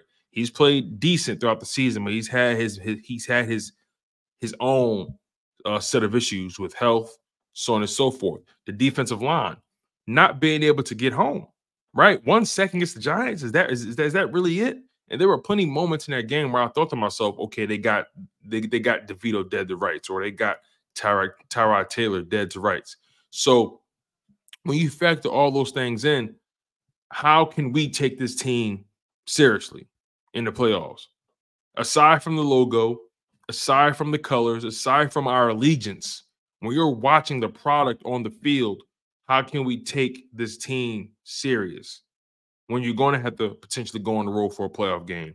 You're going to potentially place or, or, face the 49ers or face the Cowboys, right? Um, you may have to face one of these dangerous teams on the back end, like the Lions or the Buccaneers. I'm not saying the Lions or the Buccaneers are as good as the Eagles, but what I am saying is the Eagles haven't shown an ability to consistently put teams away. They allow teams to hang around, and that's not a trait that you want to have going into the playoffs. If you've got a team down 20 to 3, you should win that game by double digits at the very least. The Cowboys, or, or I'm sorry, the Giants should have never been in this game in any way. Remember, the Giants did nothing to win this game. They were unimpressive, they were uninspiring, and they took advantage of opportunities that the Eagles gave them. Remember that, you guys. These are the opportunities that the Eagles are creating for the opponent. And, they, and they've been doing it for the most part all year, right?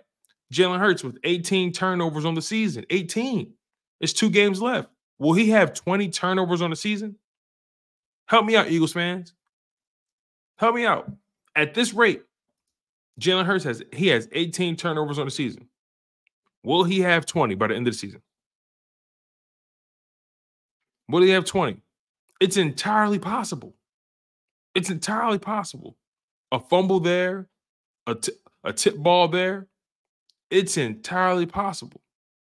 So when you factor all those things in, when, when you factor all those things in, we got to look at this team very measured like we got to look at them as a team who who may not just who may not be as good as we thought they were. We're gonna have to really we're gonna have to really evaluate that.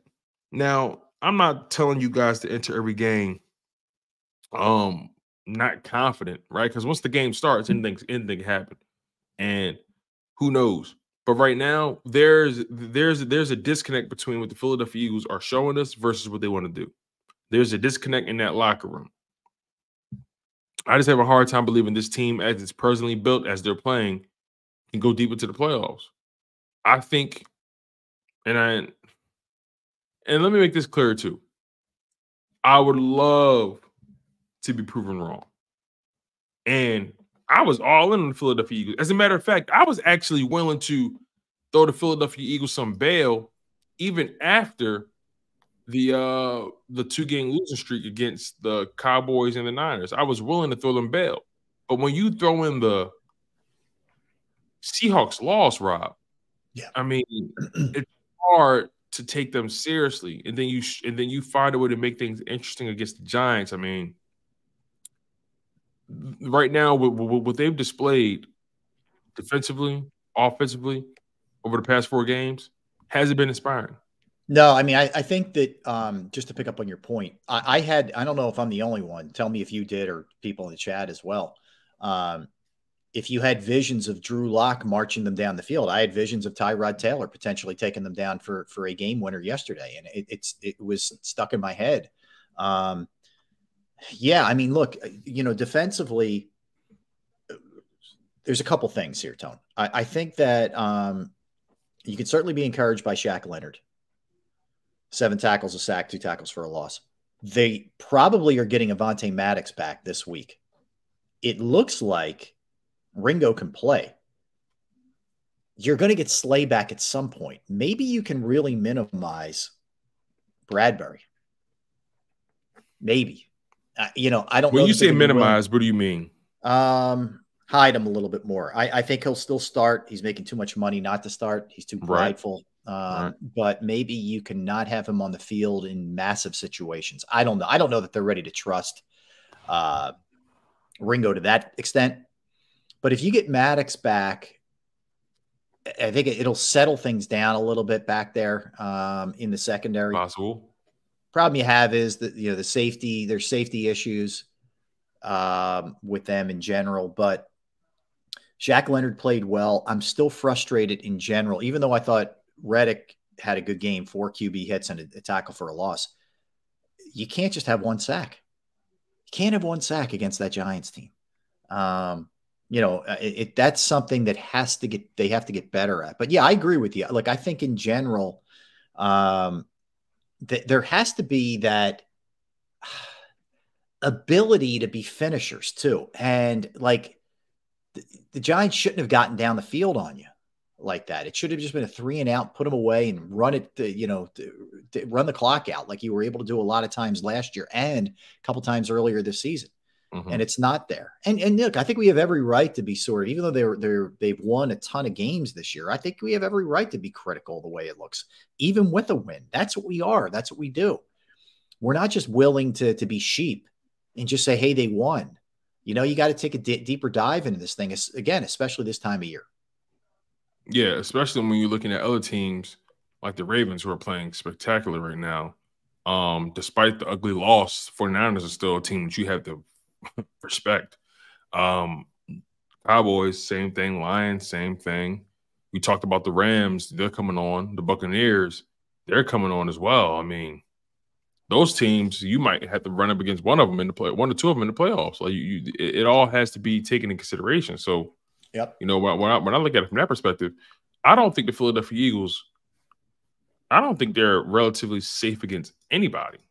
In, any any any matchup they get in the playoffs, that team can beat them. I believe that. Yeah, I, I, would I would tend to agree with that. I don't, I don't think they're a lock against anybody. I, I think um, yeah, the, the other thing I see somebody in the chat saying he's making too much money not to start. It's that type of pathetic thinking that has us in this position, play the best players.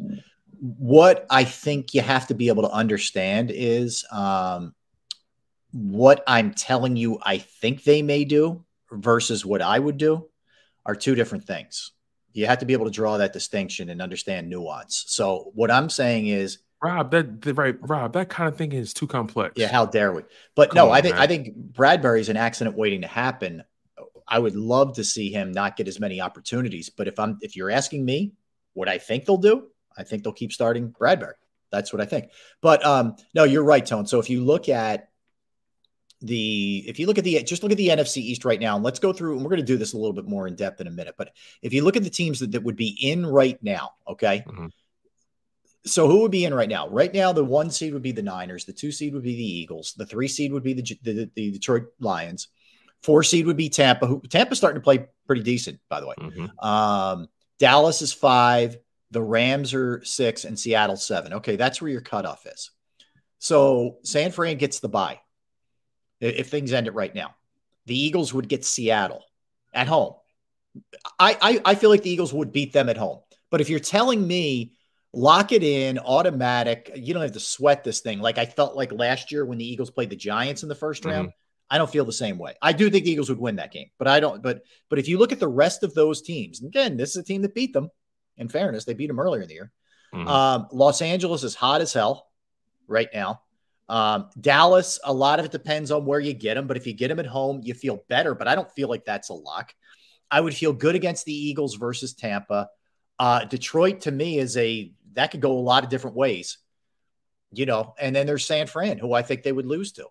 Like if you're just asking me right now. So right. to your point, uh, there isn't any anyone I go in saying, man, look at the way they've struggled against bad teams. I don't know how you would feel that. Yeah, yeah. So you know, um, again, I'm I'm I'm looking at this team as looking at them as a team who has to prove it every single right. week. Like, can you imagine them going into the first round, wild card weekend, playing playing Seattle and losing that game? Can you imagine that?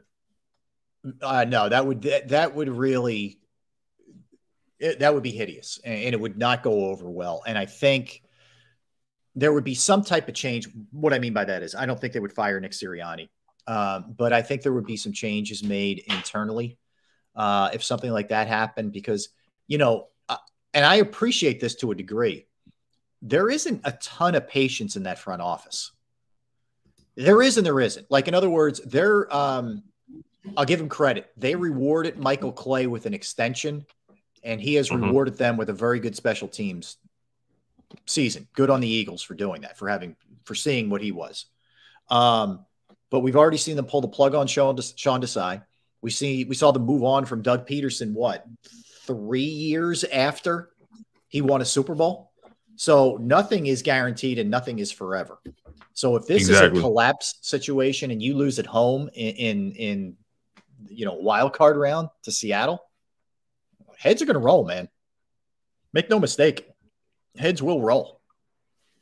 Right. And I'm looking at it, I'm looking at it like it's all possible. It's all on the table.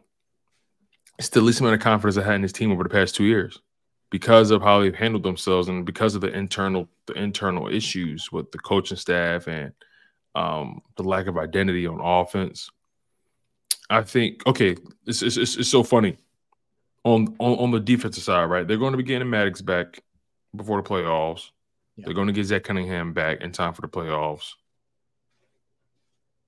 What do you think is the the recipe for this defense in the playoffs? And I, I, obviously, it's matchups. Obviously, it's matchup specific.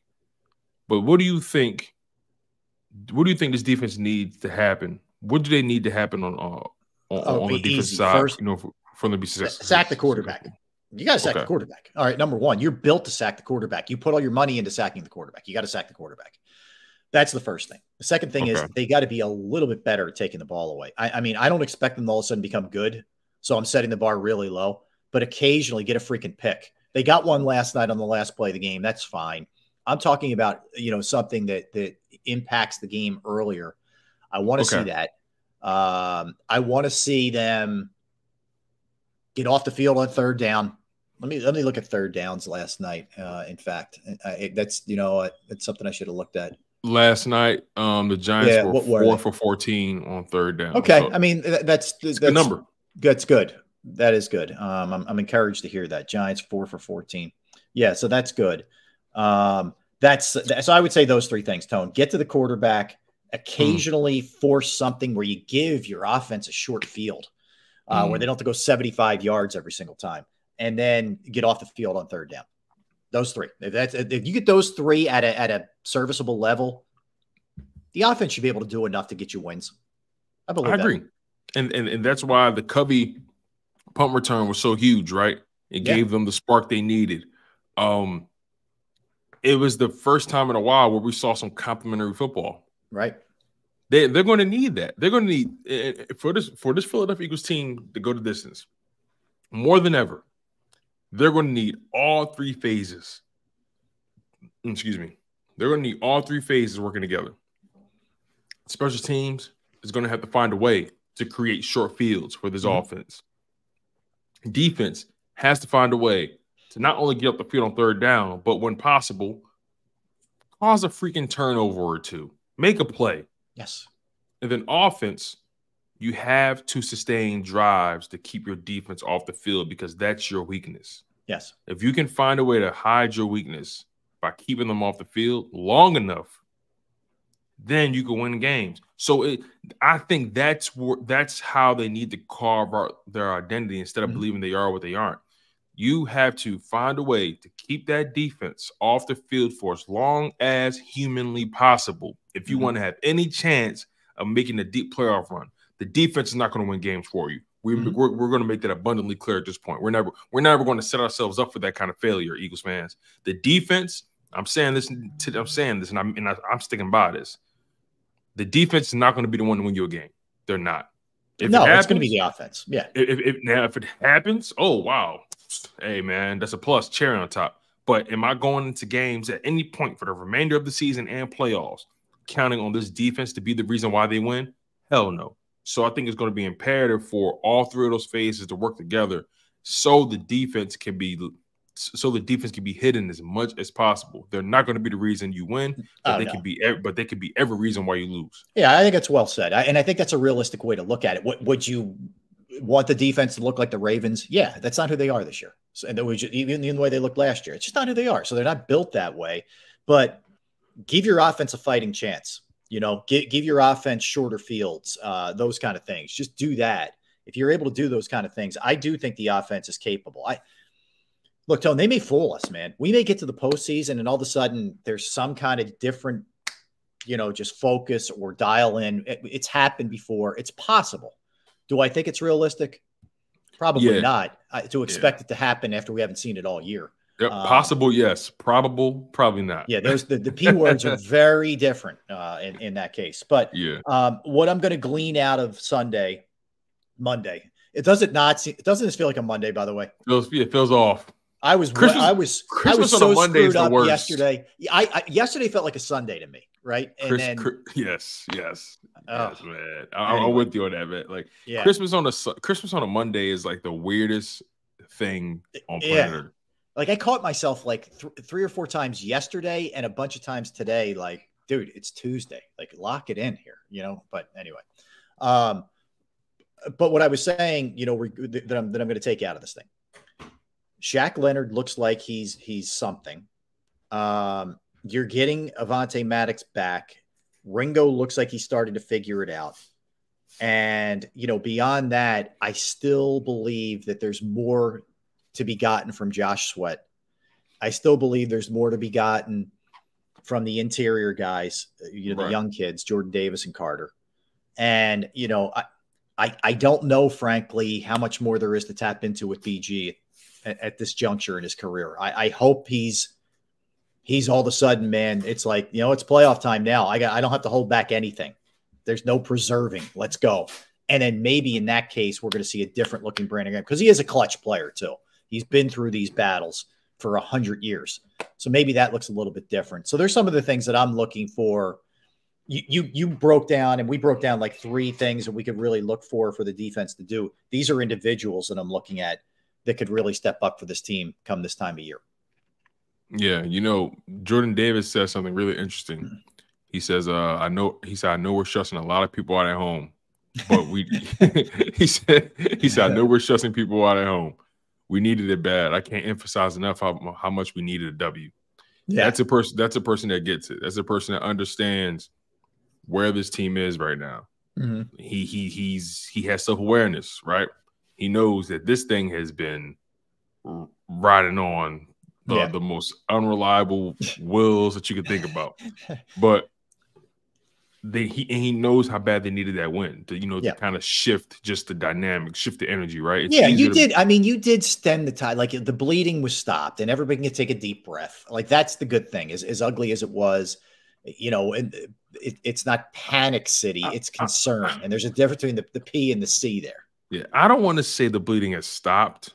I'd much rather say they finally put pressure on the damn thing. Okay, that's fair. They- Uh, that's they- they- Yeah, the they- cut isn't healed. It's not Yeah. healed, but you've at least it's not dripping down your arm at this point. They finally put pressure on it.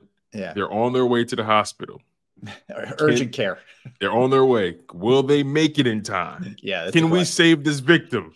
No, We're Uh, going to Co- find out, you guys.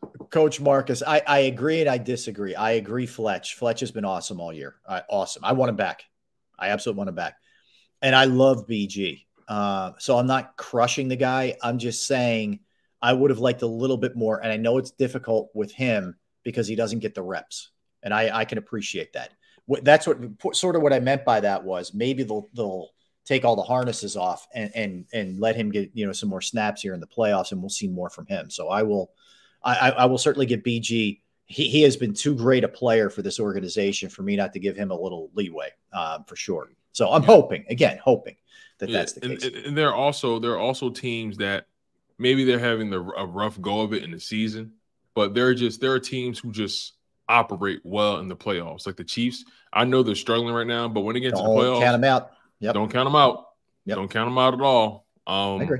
And hopefully, And then maybe we should give the Eagles some of that benefit of the doubt. and that's exactly where I'm going with it. Hopefully, Yeah. the Philadelphia Eagles can provide us um, with enough, um, you know, can, can provide enough to where they are that kind of team in the playoffs as well. Yeah, things have kind of been a struggle, but but now that they're in, Mm-hmm. okay, there it, it- it's a different gear, it's a different way that we approach preparation, and hopefully, um, that can lead to Eagles being lead to the Eagles being more successful. I can fair. I, I- I can buy that. I can totally buy that. All right. Um, we'll come back. We'll look at a couple other things. Um, you know, there are guys that are unhappy. AJ Brown, DeVonta, some of the other things that need to be cleaned up a little bit here, and we'll give some props out too uh, to some guys who were unsung. Yeah, I, I again, uh, I give I'm giving special teams love uh, because I thought between Covey, Braden Mann, Elliott, uh, other than the the botch on the kickoff, I, I think special teams has been a real br- uh, bright spot the entire year for this team. So uh, we'll hit it. We'll come back.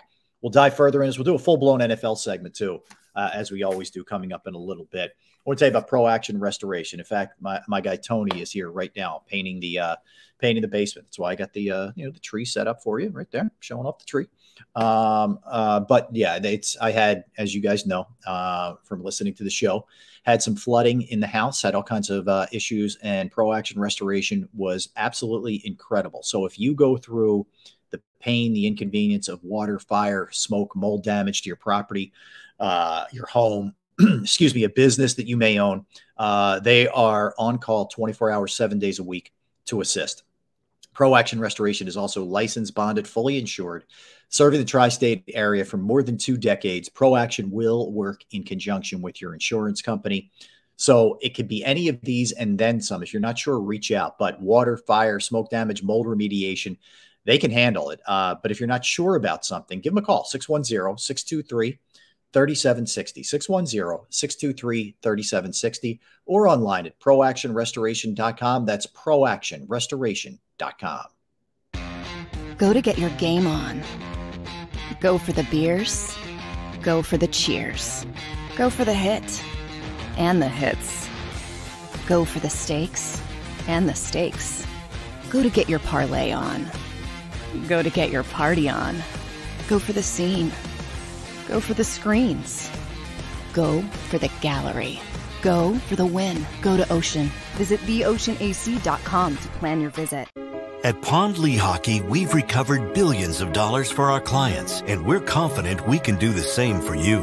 With over 250 years of combined courtroom experience, we've helped over 100,000 injured clients obtain some of the largest settlements in Pennsylvania. One conversation is all it takes to help you and your family get back on track. If you've been injured in an accident, give Pond Lehocky a call.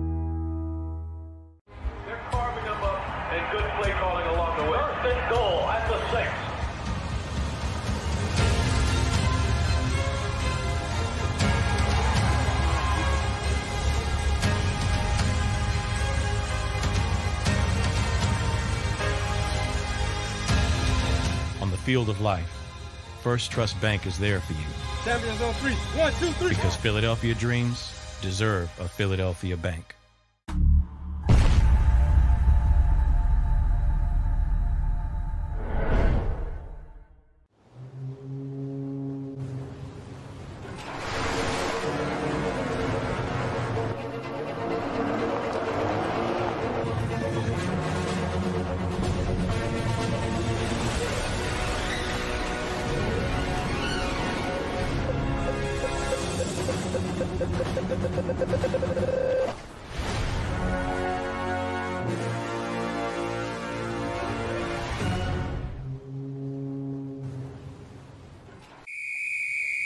Underdog Fantasy has a way for you to play alongside your favorite football team all season long with their fantasy pick'em game.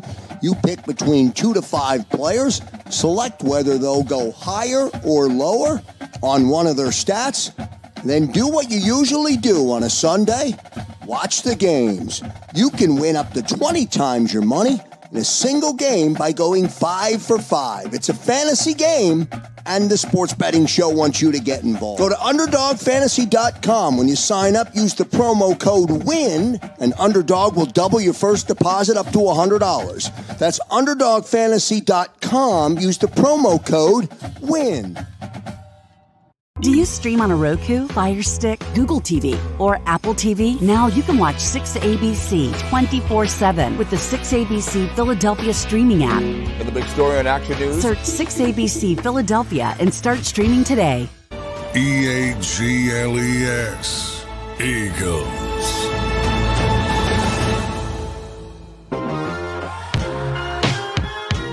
Stone. I'm Rob. We are Sports Take. Appreciate you hanging with us on this December 26th. All right, Tone. So, um, a couple things that, that need to be cleaned up, right? Um, there's no reason Jalen Carter can't get off the field fast enough um, where you get a 12 man penalty, 12th man penalty on that play. I, I again, I, I view a lot of these things that happened last night as learning lessons. Like I, I, I guarantee you, he caught an earful from you know, his defense, you know, Tracy Rocker, whomever, who's the defensive line coach. I don't think that'll happen again. Um, I don't think we'll see Olamide, Olamide Zaccheaus bang into Boston Scott where he fumbles. At least I'm hoping. Mm, yeah, that was strange. That was so strange, man. Just the optics looked like something out of a cartoon. I mean, he was literally going the other way into him as as he came out. But I don't think we'll see Yeah. that. In slow motion, you realize that oh, like Zaccheaus actually got pushed into him. Yes, but the fact that his So- back was to the guy pushing him in and going almost like he's making a tackle into Scott was so weird. yeah, yeah. yeah. It looked so. It looked. It looked bad. It looked bad, man. It, it just wasn't a good look. Yeah. So uh, again, do I think Jalen Hurts, who i- who has an extremely high football IQ, is going to try and stay in bounds there, where he had no prayer of busting that thing in for a TD? No, I think he'll duck out of bounds. So I think there are things that happened last night that are correctable. I honestly believe correctable. I'm not just trying to look at this through you know green colored glasses. I, I think you know Dallas Goedert slipped you know, here, here's what I'll say about the Dallas Goedert slip thing. That's bad luck, but the play before that probably should have been a pick. So Jalen may have gotten fortunate on the play before that, and that's what he's got to clean up. He's still a little click careless with, with, with the ball for my taste, Tone, in general. And it's been a pro- he's got 18 on the season. Way too many. Way too many as a team. Um, so there are things that have to be fixed, and there are things that I think happen that fall under the category of some be- some unluckiness. I guess would be a better you know better word in some ways. Yeah, at, this point, he's going to have more turnovers than games played. Yes, not a place, not not a place you want to be in. Awful. It's an Um, awful place to be. Yeah. And also, if you think about it, he had a couple passes get batted and tipped up, and Uh-huh. that's kind of been that's kind of been his mo all year, man. And you know when you're when you're a six feet six foot one quarterback with cleats on, you know you got to try a little harder to get that ball over the line of scrimmage. A lot of those guys are six four, six five, wingspan like six nine, six ten. These guys long arms, long bodies, and you know you got you, you got to do a better job and find you got to do a better job of trying to find a way to get the ball over the line of scrimmage. Too often his balls get batted down or tipped up and then and he lead to picks. That's Yeah. kind of been something that's plagued him all year. So I think it's a, la- throwing lanes he needs to comprehend. Occasionally, you know, you'll see used to see guys like Brees or, or whatever. They'll, they'll give you a three quarters look sometimes, mm-hmm. you know, with the throw where you're not straight over the top. You know, I, I- you know, again, is this some of the things he can learn as he goes? Sure. I'd have to go back and look and see what some of the shorter guys were doing in their third year as a starter or whatever, fourth year. You know what I'm saying? Like that, that's, I'd have to look at that but that's something that he you're right there it's happened too often this year and it, it- you know it's funny after he had such a good year last year we never brought up his size anymore but this year you're noticing it a little bit more uh, than you did last year for sure yeah, be, be, because you know Drew Brees had a similar issue. Yeah. Right. So if you notice in his throwing motion, he always ended up on his tippy toes when he threw the ball. Somehow, Yeah. some way, he always ended up on his tippy toes. Um, I think that I think that could be something Jalen Hurts may have to revisit. You know, in the lab, right? How can he avoid those those batted down passes at the line of scrimmage? What can he do differently? And maybe maybe there's not so much he could. Maybe there's only so much he can do because of his his stature, right? Mhm. But but overall, though, um, 18 turnovers on the season. unacceptable I, I, I, I don't think any of us saw that coming. no i didn't. I certainly didn't. He was very good at taking care of the football last year. They were a very good team at taking care of the football last year and they have not been a good t- it's certainly he leads the charge right? But there have Mhm. been too many others who who have not been uh good with the ball. And in turn they don't take we talked about this they don't take the ball away. Um and that's been a major problem. I mean last night got them over that was their seventh interception which is one more than CJ GJ had all of last year by himself so that's a problem when you've now played 15 games and you have one more interception as a team than CJ GJ had by himself last year. That's a Hmm. major problem. Um, they don't strip the but you watch how other teams are masters at at that punch play. You won't see that from the Eagles. You know, you and some of this is the secondary is just not that good, so they're not getting good reads on balls. They're chasing a lot of times instead of anticipating. That's Right. why with the picks but you just don't see it in general. I mean, and the other thing you got last year was, and and this is where I'll maybe get on Reddick a little bit. Reddick was great with the forced fumbles, with the strip has, Yeah. he doesn't have any. Off the top of my head, I'm going to say five last year. I, I Yeah, yeah. He, he led the league in forced fumbles last year. that hasn't been there. That aspect hasn't been there for him this year. He's again, he's not the only one. Josh Sweat has been far too MIA for a long time. You know, for, for me, I, I, I, they need more. I expected more out of him, but that team needs way more out of him uh, than he's given them this year. So he's got to be better um, than he's been this season. So some of this stuff, again, I don't think some of this is is end of the world stuff, and we've been seeing it all year. Last night there was some strange stuff that went down. That's all. Yeah, yeah. So I want to uh, I want to throw something at you, right? Please. Says here, um, Jeff Kerr put this stat up about 19 minutes ago. Um, shows the uh, where is it? Shows the rushing numbers on first down in the last two games. Okay. D'Andre Swift, 24 carries, 130 yards, 5.4 yards per carry. Jalen Hurts, five carries, 39 yards. And Kenny Gainwell, seven carries, 36 yards, 5.1 yards per carry. And this is the rushing numbers on first down first last down. two games. Okay. So uh, obviously, get, obviously Swift had obviously Swift leads them with 24 carries. Um, this is proof that Swift needs to be getting the ball more. Agreed. You know, um, he had, I mean, he, he had 20 touches yesterday. But but think about that. He had 20 touches yesterday, 24 carries on first down over the last two games. I think Swift is I, I think Swift needs to be a huge part of what they do going into the playoffs. What do you think? Uh, I agree. Uh, you know, it, has been an issue of mine all season uh, with them. I and I know you. You know, there are certain people who cover the team who want to push back and tell you this is a passing league and this and that. My point isn't that you got to run the ball 50 times in a game. I do think it's a passing league, but to not utilize a weapon of yours, and I think Swift is a real weapon, whether that's running it or throwing mm-hmm. it to him, is a problem. Like they did a great job yesterday of giving Swift touches, and you see what he does when he gets touches. He is really effective for you. But there were there were too many games during that stretch where I just didn't think that they were getting the ball to him enough, either handing it off or throwing it to him in space. So I love it. I'm glad to hear those numbers. I hope the Eagles, you know, are obviously they know every trend that there is, but I hope that they continue to see that and continue to utilize it because the guy's too good not to give the ball to. Sorry. He's just he's a really good player. Yeah, he is. Yeah, he's a um he's a solid player for sure. He's talented enough where you have to respect him when the ball's in his hands. Um, he can, like we saw yesterday, he could turn what two, three yard loss into a 15, 20 yard gain. So um, I think Swift is probably the unsung hero of this offense. Needs to get more touches, and then a guy. I think I think they entered that game last night, honestly, with the with a mindset of okay, we're going to get Swift and Goedert the ball early, and then uh, AJ and Smitty, um, you guys take over in our you guys take over in our high leverage situations in the second half, so on and so forth. Um, but I think I think what we saw yesterday uh, is a sign in the in, in, in the right direction in terms of just just taking what they give you mm-hmm.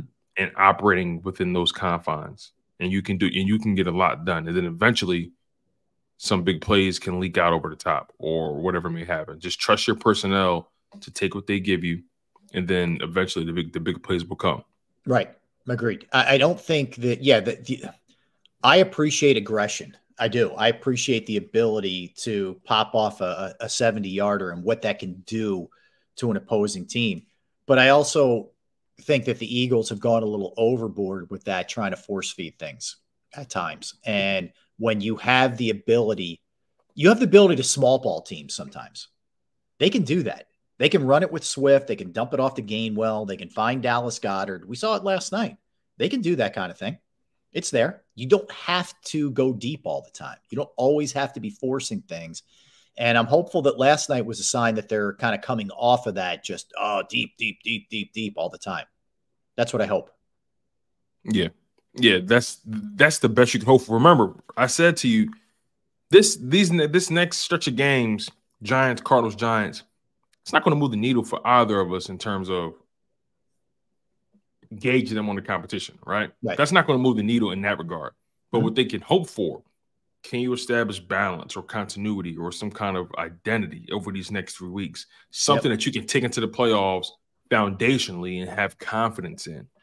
Um, did they do that unequivocally yesterday? No, but I believe it was a step to see that the offense was patient enough against an inferior opponent. Because typically in those kind of games, you can go in and just think, oh, we're going to just throw the ball at these guys and just kill them in the air they didn't take the bait, and they were for the most part patient with what the Giants gave them, and they ended up putting up 33 points by accident.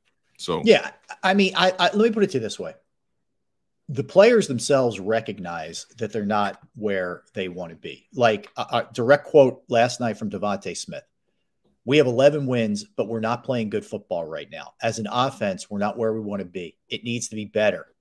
From what I want to do, whatever everybody else in here wants to do, where we want to be, and we're nowhere near that." So no, I'm not happy. Okay, that's that's the direct quote. This isn't Tone and I. That's direct quote from an Eagles player.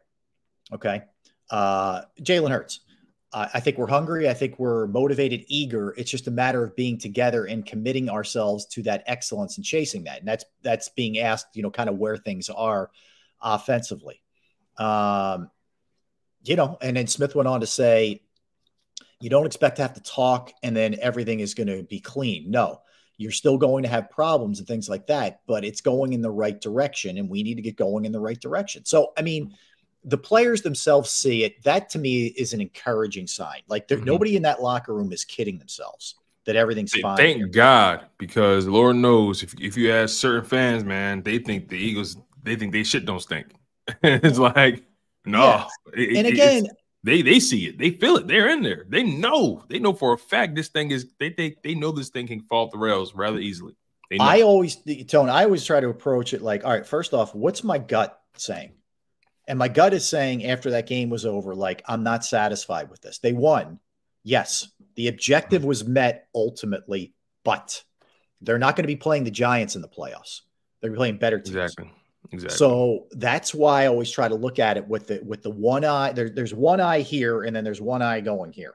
So your eye here is yes, they won. They went to 11 and four. They got help. Uh, you know, all of a sudden, this thing's not out of the question. They get right. a bye it, week. Right. It wasn't a bad week overall. No, it wasn't a bad week. week because Bill, um, because um, Cowboys lost, Niners lost, you won. Right. You had a you had a good week from that regard. It's true, but here here's the J Lo but in this thing if you don't take care of your own business, man, it won't matter. we can look around all we want. You know what I mean? Y'all, y'all heard that, right? We can we can look into the neighbor's house and we can look around with the telescope and the binoculars. And, oh, this is this is great. But if our house isn't good, it doesn't matter. Hey, hey, listen, man. That was a, that was a hell of a metaphor. I had to get it I'll in tell there. you that. I had to get it in there. Yeah. That's the only metaphor. That's the kind of metaphor you make when your wife's not home. correct. You are correct, sir. Yes. Uh, but no, oh. it's true though, man. I mean, it's just like you, for for me, again, still two weeks to fine tune things. That's the way I view it. Like you're not going in for an overhaul. You're going in to, to tweak some things here and there, fix some things here and there, and then hopefully the car's ready to roll two weeks mm-hmm. when it gets real. That's it. I mean, that's the only other way I can look at this thing realistically with this team. Yeah. Yeah. You know, like while we're at it, as a matter of fact, again, playoff picture 49ers are, are the number one seed. Right. Eagles are the two, Lions are the three, Buccaneers the four, Cowboys the five, Rams six, Seahawks seven. So um the Cowboys final two game stretch, Lions Commanders, the 49ers. Their uh, final two uh, game command, uh, Commanders, uh, Commanders, Rams. Rams. At the Commanders, Rams home. So we're going to be rooting for the Commanders a lot over these next couple weeks. I can yes. tell you that. We're yep. going to be rooting for the Commanders one week, and we're going to be rooting for the uh, Cowboys another week because we we want the Cowboys to beat the Lions, but we don't want them to beat the Commanders. Um, and the 49ers, you know, we we want the Commanders to beat them, and we want the Lions to somehow find, find a way to beat. I mean, I want the Rams to find a way to beat them. So look, all I that wish, stuff is I wish that unlikely. game was in L.A. I wish that that last game was in yeah, LA. Not, not yeah, me too. Me too. Um, but let's be honest, uh, a LA game for the Rams is not even a home game, so it doesn't even matter. The mm-hmm. Rams play. The Rams play on the road every week. Yep. Um. So yeah, that's true. That's a good can point. The, can the Rams push the Niners? Oh man, who knows? Who knows? But I think they be- can. I do. Like, I think they can push them. Uh, you know, I'm, I'm curious. First of all, the Niners have a couple of injuries, right? So Purdy got another stinger. It's a second straight week he got a stinger. Um, Is it a thrown so he, shoulder? Yeah. So he left the game. And then Trent Williams, and we know like Trent losing Trent Williams for them is like the Eagles losing Lane Johnson. Mm-hmm. It's a huge deal. So he's dealing with a groin injury right now. So that that's two big ones to keep your eye on, you know, for them going forward here, what this looks like. I also wonder, like Purdy hasn't had that kind of game. I don't recall, certainly this year, uh, where he looked that bad. The closest game he's had to that, I believe, was the Vikings game. That was the closest. Yeah, and he wasn't great in Cleveland. Remember that one? He wasn't great there either. Because he threw two interceptions against the Vikings. Um, against Cleveland, he threw an interception. Yeah. Uh, so in the Bengals, I believe he threw two interceptions. So that was um, during that stretch. Yeah, that stretch where they were struggling. Yeah. Right, right. So in that Browns Vikings Bengals stretch, he threw five interceptions in that stretch. He threw four interceptions just last night. Yeah. So how, my question is just, you know, he's still a young quarterback. You know, I get it. He played a lot of college football, but how does he respond to that? It, and and how's the shoulder? Um, Trent Williams injury could could be a big deal. Um, you yeah, know, the Cowboys and, and, knowing them, could they could look? Here's the thing, too, real quick before you go. Yeah, are the Niners liable to? Are, are they are they liable to sit Trent Williams against the Commanders so he can rest up? Right. It's, it's possible. It's a good question. Yeah, I don't know. I don't. I, I mean, I, yeah, we'll see. Right. Um, we'll see. I think that um, the other thing is how are the Cowboys at all shook? I know it was two on the road. It wasn't at home, and they're great at home. Seven and zero. They should. They, they, should be though. They should be nervous because I, they're going to have they, to. Yeah. They're going to have to play at at this rate they're going to have to play the entire playoffs on the road at this rate. They should be nervous. They they mm-hmm. can't win. The, the, they're literally two different teams at home versus on the road. Yeah, they should be nervous. I mean, we're no as Eagles fans, we're nervous for our own separate reasons, but for their problems, for their issues, they should be petrified. Yeah, if you ask me, because again, it's not like it's not like you know you just lose these close games and and granted that was a close game they lost, but for the most part, you're like you're not even the same team. You, not you're nowhere near close to who you are or who, or who you market yourself to be. They're, they're they're Dr. Jekyll and Mr. Hyde when it comes to home and road games. Mm-hmm. Yeah, they are. Uh, and, and again, that Detroit game is home. Um, but you know, it, will be. They're going to drop forty on Detroit. They're going to drop forty on them. You think so? It, yeah. Yeah. I, that I, helps the Eagles. Think, it helps the Eagles. Yeah. I think Cowboys beat Detroit, and I know that we still got some time left before we can have to make predictions. But no, but I think that's yeah. They're going to beat them 40 to like 28, 40 30. Watch. Good. It's actually good in this case. I would never ever say that normally, Tone, but this is what mm-hmm. you need. If you if the Dallas wins and the Eagles win out, you're getting two seat basically. So uh, at worst, you could still even maybe get a one. So that's a huge deal um, in that game. It's going to be hard for all of us to have to do it, but you know, it, it's you know, it's just a fact. That's how the that's how your rooting interest has to be in this game. The good thing is exactly. the way this the the um the schedule upcoming this week. So this is there's no Monday night game um this upcoming week. So the the week 17 and I can't believe we're in week 17, but the week 17 schedule I believe this is the last Thursday night game too. Uh, Jets Browns, but the Saturday game there's only one Saturday and it's Saturday night and that's the Lions and the Cowboys. So, you know, you'll be able to just kind of lock in on that one. Um, and of course, we have the rare Eagles one o'clock game coming up this week, too. Uh, but you'll be you'll be all over that game. You'll be all over the 49ers commanders. You know, obviously that's going to be a big one uh, as well. Um, but they're they're the you know the three teams you're looking for are the Lions, the Cowboys, and the 49ers right now. That's it. A question. Yeah. If Dallas loses to Detroit and the Eagles win, on Sunday. Doesn't that lock up the NFC East? Yes. Yes. I would like to. I would like to think that. I mean, that's that's that's that's pretty accurate, right? That sounds right. Let me uh let me see. Pull it up. Because right now,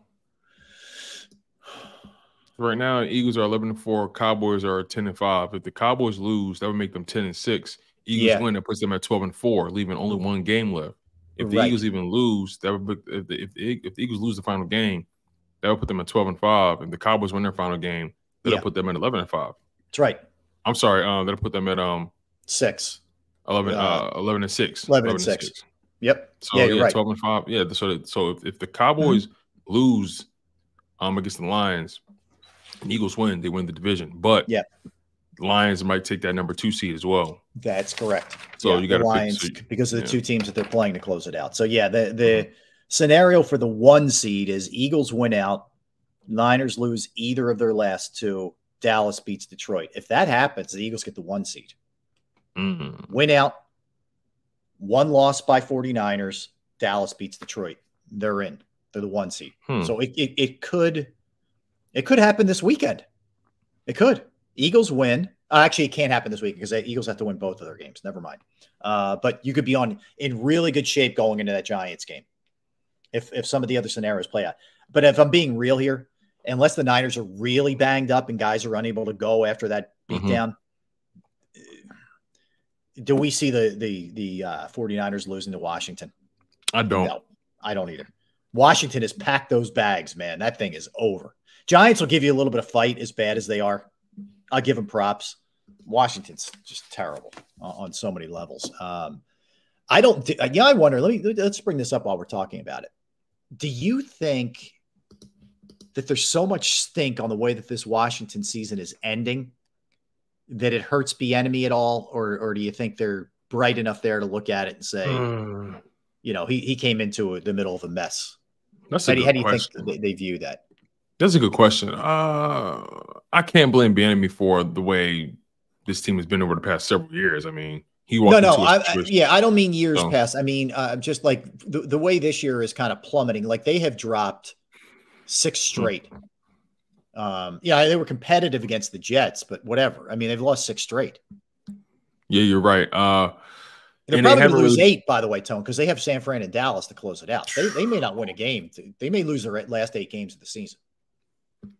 and they haven't really been competitive. No. So, yeah, man. Um, this this could be a situation where they clean house. But the one thing uh, on Bieniemy side for this season is how he's rebuilt Sam Howell. Uh, Sam Howell right now, if I'm not mistaken, I think he's top five in passing yards in the league. Um, so that's pretty. Actually, no, he's not top five anymore. I take that back. Um, wow, his numbers are actually um, taking, a, taking a step back. Yeah. So he was on pace for throwing for like 4,500 yards. Yep. Now he's only he's only thrown for 3,600 on the season. He's on pace to throw for 4,100. Mhm. So we'll see how that pans out. We'll see what happens in the past couple in the next couple games. But he's kind of come back down to earth. But I think I think overall, Bieniemy's did done a pretty decent job trying to, you know, maximize this kid's skill set. But he's he, he he's come back down to earth over the past several weeks, and you know it was it, was only a matter of time. He's been a turnover machine Mhm. as of late. So who knows? You you may be on something. Maybe maybe maybe that whole team just gets cleaned out. Yeah, I don't know. And, you know what? Maybe if he has opportunities to go elsewhere, maybe he wants to get out of there too, Bieniemy. You know, we're assuming he wants to stay. I don't know. Who knows? That's a good that's that's a good point. We're assuming he wants to be the head coach there. We're assuming yeah, that. because think about it, and we we you, we went th- we went through all these scenarios last week, but there's legitimate chance that you could have. And by the way, the Jets announced that Salah is going to be back, so take them out of one of the teams that it may happen with. But New England, um, you know, Tennessee's going to stay the same. So I'd say New England, the Chargers. I think Antonio Pierce has locked himself into the Raiders, by the way, too. So I'll go Patriots, Chargers, Commanders, maybe Bears, four, uh, Atlanta, five, New Orleans, six, Carolina, seven. It's probably it, right? Am I missing anything? Obvious. Um, I think you pretty much nailed it. So there's seven opportunities, maybe that the Bieniemy could be up for. Maybe again, we've seen in the past that it didn't happen for Hmm. him for whatever reason. I'm just saying, if he views Washington as total chaos and wants to Did get you out say? of there, Did you did you say Carolina? uh, yes, Okay. yes, yeah. So yeah, I mean, it's a figure seven-ish, seven-ish opportunities, um, which changed a little bit over the weekend because the Jets said Salah was definitely going to be back. Anyway, all right, let, let's get a quickie in here. Let's come back and let's look at some of the results of the weekend. where things stand, injuries. We'll give you a bunch of updates when we get back. Don't go anywhere. He's Tone. I'm Rob. We are Sports Take. All right, let's talk about Flynn Tree Services. Yes, Flynn Tree Services is an experienced, licensed, and insured Pennsylvania tree services company that will trim or remove any unwanted trees off of your property.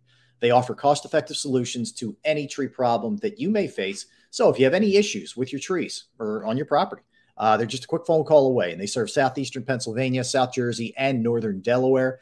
Flynn Tree Services specializes in tree removal, stump grinding, as well as tree pruning. You could go to their Facebook or Instagram page for more information or a sampling of their work.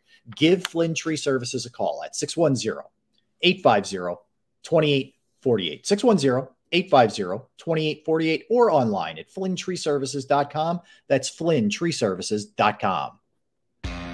Go to get your game on. Go for the beers. Go for the cheers. Go for the hit and the hits. Go for the stakes and the stakes. Go to get your parlay on. Go to get your party on. Go for the scene. Go for the screens. Go for the gallery. Go for the win. Go to Ocean. Visit theoceanac.com to plan your visit. At Pond Lehocky, we've recovered billions of dollars for our clients, and we're confident we can do the same for you. With over 250 years of combined courtroom experience, we've helped over 100,000 injured clients obtain some of the largest settlements in Pennsylvania. One conversation is all it takes to help you and your family get back on track. If you've been injured in an accident, give Pond Lehocky a call.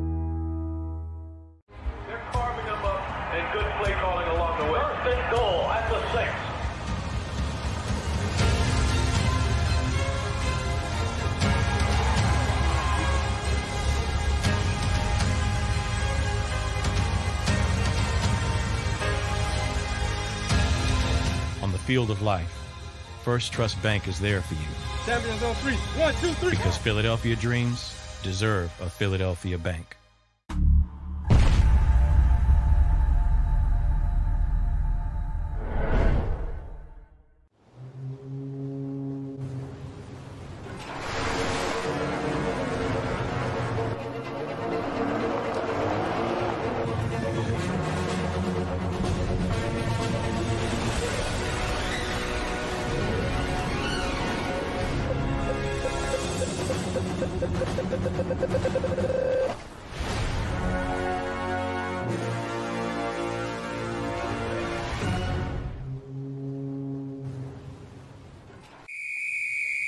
Underdog Fantasy has a way for you to play alongside your favorite football team all season long with their fantasy pick'em game. You pick between two to five players, select whether they'll go higher or lower on one of their stats, then do what you usually do on a Sunday watch the games. You can win up to 20 times your money in a single game by going five for five. It's a fantasy game, and the sports betting show wants you to get involved. Go to UnderdogFantasy.com. When you sign up, use the promo code WIN, and Underdog will double your first deposit up to $100. That's UnderdogFantasy.com. Use the promo code WIN. Do you stream on a Roku, Fire Stick, Google TV, or Apple TV? Now you can watch 6ABC 24 7 with the 6ABC Philadelphia streaming app. And the big story on Action News? Search 6ABC Philadelphia and start streaming today. E A G L E S. Eagles.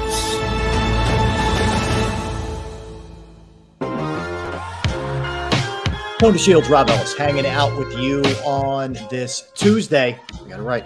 Tuesday, December 26th. Uh, all right, so let me let me run through because we we've hit the um, standings in the NFC a bunch of times. But let, us go through the AFC here, Tone, and just let everybody everybody know what we're uh, what we're looking at, at here. So your one seed is Baltimore, coming off that impressive win last night, where they they not only beat the Niners, I mean they physically just smacked them around. Um, so they're the one seed at 12 and 3 right now. Miami's the two seed at 11 and 4. The Chiefs, because they're winning their division, um, are 9 and 6, but they're the three seed. Same thing with Jacksonville. Excuse me, even though they're 8 and 7, they're the four seed. Now, Cleveland, who just keeps doing it, somehow, some way, with all the injuries, they're 10 and 5. They're the five seed. Look out now. Buffalo's starting to get hot, even though they escaped that game against the Chargers, but they're nine and six. And then you have the Colts at eight and seven. And then after that, it's the Texans at eight and seven, the Steelers at eight and seven, and the Bengals at eight and seven. So um, it's tight at the bottom there for sure in the AFC. Uh, you, you've seen some teams get a little separation. Let's start with the Chiefs, man. Um, I, I thought Andy got away with it last year. Um, you know, they traded Tyreek Hill and they had Smith Schuster, guys who were solid, but not any real big time game breaker types on the outside. You know, you had Kelce, but even a guy like Mahomes, you're seeing needs some more help. And I think that's a piece of this thing. And I just think general, they have that Super Bowl hangover feel to them, Tone. I watched that game yesterday, man. They were they were sloppy and bad yeah. trying trick plays and fumbles and all this other stuff. It was just awful. You know, it's funny. It makes you put things in perspective for the Philadelphia Eagles, right? Totally. You know, you the two teams who won who won who were in the Super Bowl last year, they seem like they're just dragging into the playoffs. But you still have to give them respect, give them a certain level of respect when you play them because of how quickly things can turn around for teams like that because they have that that experience, you know, that gene, right? So the Chiefs, man, I don't know how far they go, but if I'm basing it off of what I've seen, they could very well be one and done because let's let's let's, let's really put it in perspective, right? As far as just stand is going, who they who they potentially can who they could potentially play in the opening round. Right now, if everything holds true, Miami will play the Colts, and the Chiefs will play the Bills. I think the that's, Bills get them. That's tough one, man. That is a tough I think one. the Bill. I think the Bills catch them. Yeah, catch them slipping. Yeah, it could be. I uh, look. I you know the Josh Allen has vaulted himself back in the MVP conversation. Uh, you know he's got four, he's accounted for forty touchdowns. I, I right now I'm going Lamar Jackson, but that's you know that's a different discussion, which we can get into in a minute. But um, yeah, I mean, as you said earlier, you don't totally count the Chiefs out under any circumstance with Mahomes and Reed and that crew, and they have the, you know, winning gene. But still, I, they look a lot different this year. I, I would like Buffalo's chances. Yeah, look, listen to this. Miami will play the Colts. I think we got Miami beating the Colts, right? And then yes, the I would agree with that. I would agree. With then that, yes. the Chiefs playing the Bills. We don't know, but I got the Bills winning that game, right? right? And then Jaguars Browns. I got the Browns beating the Jaguars. I like the Browns big time. So, so that means the Ravens will have to play in, in the division round. The Ravens will have to play the Buffalo Bills. The Dolphins would have to play the Browns. Hmm. That is wild. That's not easy. That is wild. Yeah, that's just not easy by any stretch. I think, I think the Browns could beat the Dolphins. you know what I mean? I do too. And I think the Bills could beat the Ravens. When like, you play the kind of defense the Browns play, and you know Flacco has has found something there. I mean, they they've they've it's crazy. He was out of football for a really long stretch of this season, but he's fit in really well there. Uh, he really has. And, um, you know, like I said, Stefanski to me should be in every coaching of the year candidate conversation. But yeah, they, I agree with you. Cleveland's dangerous, man. They are scary. They are.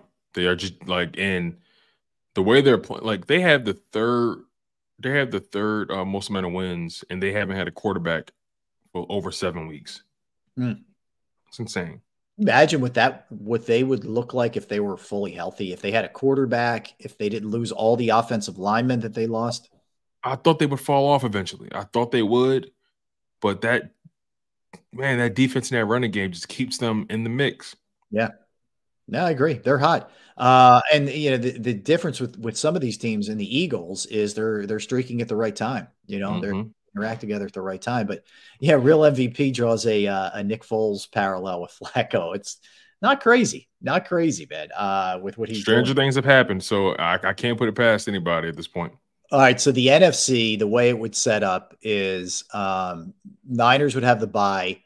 If the Eagles are the two, they would get Seattle at home. Then Detroit would get the Rams at home. How about that storyline with with Goff and, and Stafford and, and, all those uh, great. The NFL would be you know drooling. That, that would be that would be a hell of a matchup. Oh my god! And then I'll tell you what, I think Dallas would win. Uh, don't get me wrong, but Tampa's playing better at least, or mm-hmm. they might put up a fight against the Cowboys. Listen, was, that was Tampa gets a home game. The Dallas on the road. Hey, listen, man. Mayfield's had a pretty still. good year, all things considered. You know, he's come on in the second half of the uh, second half of the year for sure. Yeah, but I can't guarantee. Look, I understand the, the, the, Cowboys are a much better team than the Buccaneers. They are. Mm-hmm. I, am not debating that. But but the way the Cowboys have played on the road, right, and the Buccaneers, how they've come on as of late, it, is am I totally wrong in no. saying that the Buccaneers could, you know, can make the Cowboys nervous that day? No, not at all. No, nervous, not at all. Uh, I mean, it's they found a little bit of a run game with Rachaad White. Uh, we know how good Mike Evans is. The guy's a machine. You know, they have some they have some good defensive players too. So no, no, I don't think so. I mean, let me put it to you this way. You know, if you asked me this four or five weeks ago, I thought Todd Bowles would be out of a job there. Maybe not.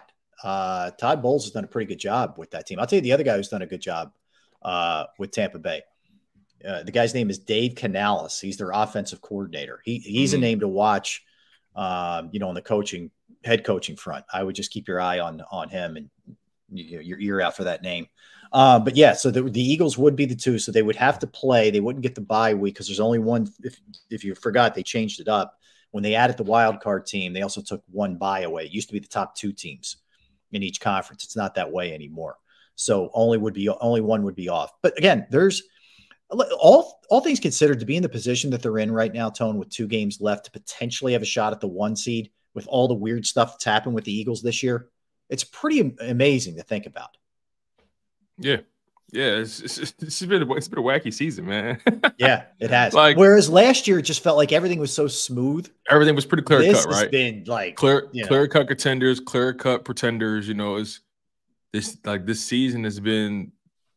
This is what the NFL wants, though. Oh, it's like Roger Goodell and the boys are uh, at the at the home office are are loving life. Let's be honest, the AFC especially. Who hmm. can we definitively say in the AFC is going to win it all? I can't. I understand the Ravens beat the 49ers last night, but I still can't definitively say they're going to just run through the AFC because of I, I, just can't say that. The mm-hmm. Ravens still, at least Lamar Jackson and the Ravens have to prove that he can win a playoff game and, and, and actually string together some playoff wins. Put it that right. way, because he only has one playoff win in his career. Mm-hmm. Um, he has to prove that he can string together. You're right. The big the, that's a big question with them is what it looks like in the playoffs. You're exactly exactly right. Right. Can, can, can Baltimore secure a home conference championship game? Mm-hmm. Can they? It's possible, but they they they got to prove that. You know, if you look at the whole AFC side, it's just a bunch of teams who are just they they, they it's it's uh it's, it's it's a tough way to go, man. Like it's going to be like a seventh seed or a six seed can knock out a two or three seed in, in, in, that in that conference, man. It's that it's that crazy. Whereas though on the on the NFC side, you know, you pretty know the you know the Seahawks and the Rams. You know their limitations. You know where their limitations are, right? Tampa Bay, you know their limitations. Um, but AFC man, I don't I don't think any of those teams really have a ceiling except for the Colts. Everybody else can very well get there, and the Jaguars. Jaguars have a ceiling too. Oh, sure, um, it could go a lot of different ways for sure. Yeah, but but Bills, Browns, Chiefs, Dolphins, Ravens. I have no idea how the AFC Championship is going to look. No idea. No, no. I you see teams trending the wrong direction. Jacksonville's trending the wrong direction, right? Yeah, you, man. You see, what that's a, pretty obvious. What a what a fall. What a yeah, fall. Major fall. Uh, the, the Chiefs are trending in the wrong direction, but they're the Chiefs, so you give them a little bit of leeway. Buffalo's ascending, Cleveland's ascending, Baltimore's ascending. Miami is too. I mean, you take nothing away from Miami. This is an 11 4 team. You have hot teams there. And you got a couple teams like the Colts are maintaining, like they're hanging in there to their credit with against a lot of odds with injuries and stuff. The Texans, if they get CJ Stroud back, it's not, you know, out of the question that they they would take that last spot. It's not out of the question that the Steelers or the Bengals would. I don't. I think it's less likely. Like, do I really trust Mason Rudolph? You know, to, to give you two straight good weeks? Probably not. At least I don't. He was good last week to his credit, but do I trust him on the road? I don't think so. You know, I think they're in where where are they? Uh Seattle. They're in Seattle this week. I like Seattle in that game. They're kind of finding their footing a little bit after that that you know losing four straight. They've gotten their act together a little bit. Had a nice little comeback this past weekend. Yeah, I agree. Seattle's a team that's interesting. Um, back into the playoff mix. Um, shouldn't be because uh, the Eagles should take care of business, but it's another conversation. Um, wow, hold on. Sidebar: I didn't know Nick Mullens threw for 411 yards. Yeah, Lions. wasn't enough, but he he went nuts. Yeah. Yeah, four interceptions though, but yep. And the last one was they were driving with the last one. Yeah. Yeah, but yeah, so but so far, man, um, fun week of football. Um, I didn't see the Steelers beating the Bengals like that. I didn't. I didn't no, I I didn't think. I think they were thought they were grasping at straws with with Mason Rudolph, like I said, and and you know he came up big for them. Uh, yeah, and I, and I and I definitely didn't see the Bills going, you know, touch and go with the Chargers. Didn't see that coming no. either. Nope. So, no, it, it, it's a hard league to predict week in and week out. There's no other way to put it. It just is. It's a hard week. It's a hard league to figure out. Um, you know, like the Eagles are massive favorites again this week. I think they're 12, 12 and a half point favorites this week against the Cardinals. Uh, you know, uh, do you view it like there's no way you can trust them with that kind of point spread? Like the game this past week was like 13 or 14, the one they just lost yesterday. Right, right. They won by eight. So it's yeah. like, like I don't, I don't, I'm not taking Eagles against any spreads. you know what I mean? Yeah, yeah. Yeah, I mean, and, and you just think, all right, well, if this is the game they clear clean up their act with the turnovers, then they'll be able to roll a team. But w- until you see it, you can't believe it. All right, so let's look at some other games uh, around the league. So you mentioned the Lions; they won. Uh, they beat the Vikings. They're eleven and four now. It's they have clinched the NFC North. I think it was like the first time in like 30 years, something crazy. They end up winning the North. So uh, they have done, Dan Campbell's done a nice job you know, all things told, and they just have so many weapons on offense. St. Uh, St. Brown just makes plays left and right, and they have a lot of other guys. You know, Jahmyr Gibbs looks like he's starting to come into his own. Uh, mm-hmm. David Montgomery was a really good move by them. Uh, Laporta, how about this draft? Like Gibbs and Laporta, and you know, and last year Hutchinson. Yep. Detroit's doing a nice job, um, all things considered. The Bucks beat the Jags. And you know, we talked a little bit about the disappointment of, of Jacksonville, but Tampa, you know, has has really come on um, to their credit, and they're playing really, really solid football. You know, I I thought they were going to be bad. I knew they had a pretty good defense, but I just thought watching them last year with Brady was so tired and stale. Yeah, but I mean Mayfield's giving them a little life. Yeah, they're on a four game winning streak right now. Um, the longest yeah. winning streak of the season. Um, you got to give credit where credit is due. Now, obviously, they're going they're going up against some pretty lesser opponents. Um, two of the opponents were divisional matchups: Panthers and Falcons. And then they took it to the Packers and they took it to the Jaguars. So I mean, the, the, those are some pretty solid victories, all things considered. And then this week, week 17, they're going to have an uh, an underwhelming Saints team, and they got the Panthers again. So could the Buccaneers close out the season? um, on a six game winning streak, it's very possible based mm-hmm. on way they're playing. Oh, yeah. I, I agree with you. Uh, that very well could happen. Um, let's go to some other other odds and ends uh, around the league. Uh, Doug Pederson says that you know um, Trevor Lawrence injured his shoulder in the game. He already went in having having just you know passed concussion protocol. So he injured his shoulder, and he said it's Knee, or, or shoulder, it's everything everything. He is. Yeah, yeah.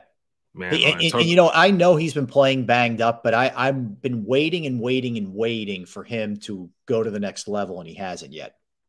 You know, he's been mm. okay. He had been special. Yeah, yeah. Lawrence talent is there. Yeah, but still, you know, okay. I try to I try to put it in perspective. Yeah, like they are the Jags. So what Doug Pederson, Trevor Lawrence, and they're trying to do, or what they're trying to do is, is a pretty difficult feat. They're trying to change Jacksonville football culture. Mm-hmm. It's tough. But I do understand where you're coming from in terms of waiting for Trevor Lawrence just to have that spectacular breakout performance. I mean, I would have to I would have to go back into his his game logs, but he hasn't really had a stellar 2023 campaign, right? Definitely.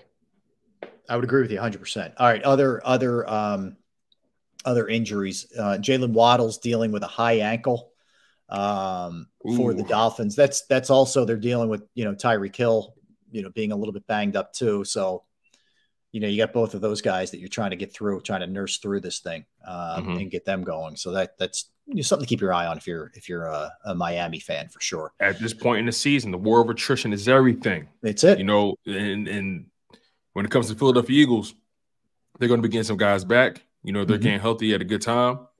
You know, other teams, 49ers, they you know, they're dealing with some key injuries. Anything look, anything is possible over these next several weeks. Anything is possible. But but at the but at the very least, you want to make sure you do everything in your power to make sure you cover all your bases. You check all the boxes you need to check to make sure you're prepared enough for the opponent, regardless of who they put out there. Right. I think I, think I think that's the struggle the Philadelphia Eagles and a lot of teams are dealing Mhm. with right now.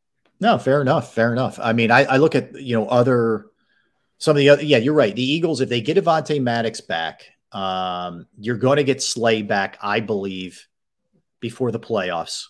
Maybe they try and play him in that last Giants game just to get him, you know, back into the mix. So you get those two back. Um, then all of a sudden, you would have all three of your starting corners, Mhm. one of your starting safeties, who was Blankenship, and Byard. That's about as good as you've looked health wise in a long time back there. Um, you're gut. They think I don't know. I don't know where things stand with Zach Cunningham. Actually, I don't want to speak out of turn because he's you know I I don't know, but if you could get him back, and then all of a sudden you have a little bit of depth with Shaq Leonard and Morrow. Okay, not bad, not terrible. Um, your defensive line is pretty healthy, right? Uh, correct me if I'm wrong. Am I missing anybody from earlier in the year? No, I think they're in pretty good No, shape. everybody everybody's pretty healthy on the D line. So you're you're at about maximum capacity body wise on that side of the ball for as good as it's going to get.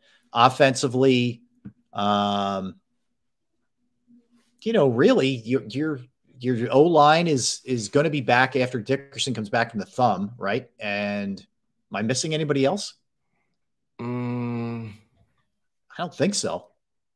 I think that's it because Jurgens had a pretty good game yesterday, so he's back. Obviously, Yeah, he's back. Um, can, can he stay on the field? That's the question. Yeah. Um, yeah, I think I I, I think that pretty much covers it. The, the, Yeah, the, the, the, the going into the playoffs, if everything continues to trend the way it's trending, they're going to be as healthy as they've been all year, all year. Yep. Now right. they got to now they got to string it together. That's it. That's it. All right. So a couple other things. Um, they don't. The Vikings aren't sure if they're going to roll with Nick Mullens or Jaren Hall, uh, the rookie, for their next game.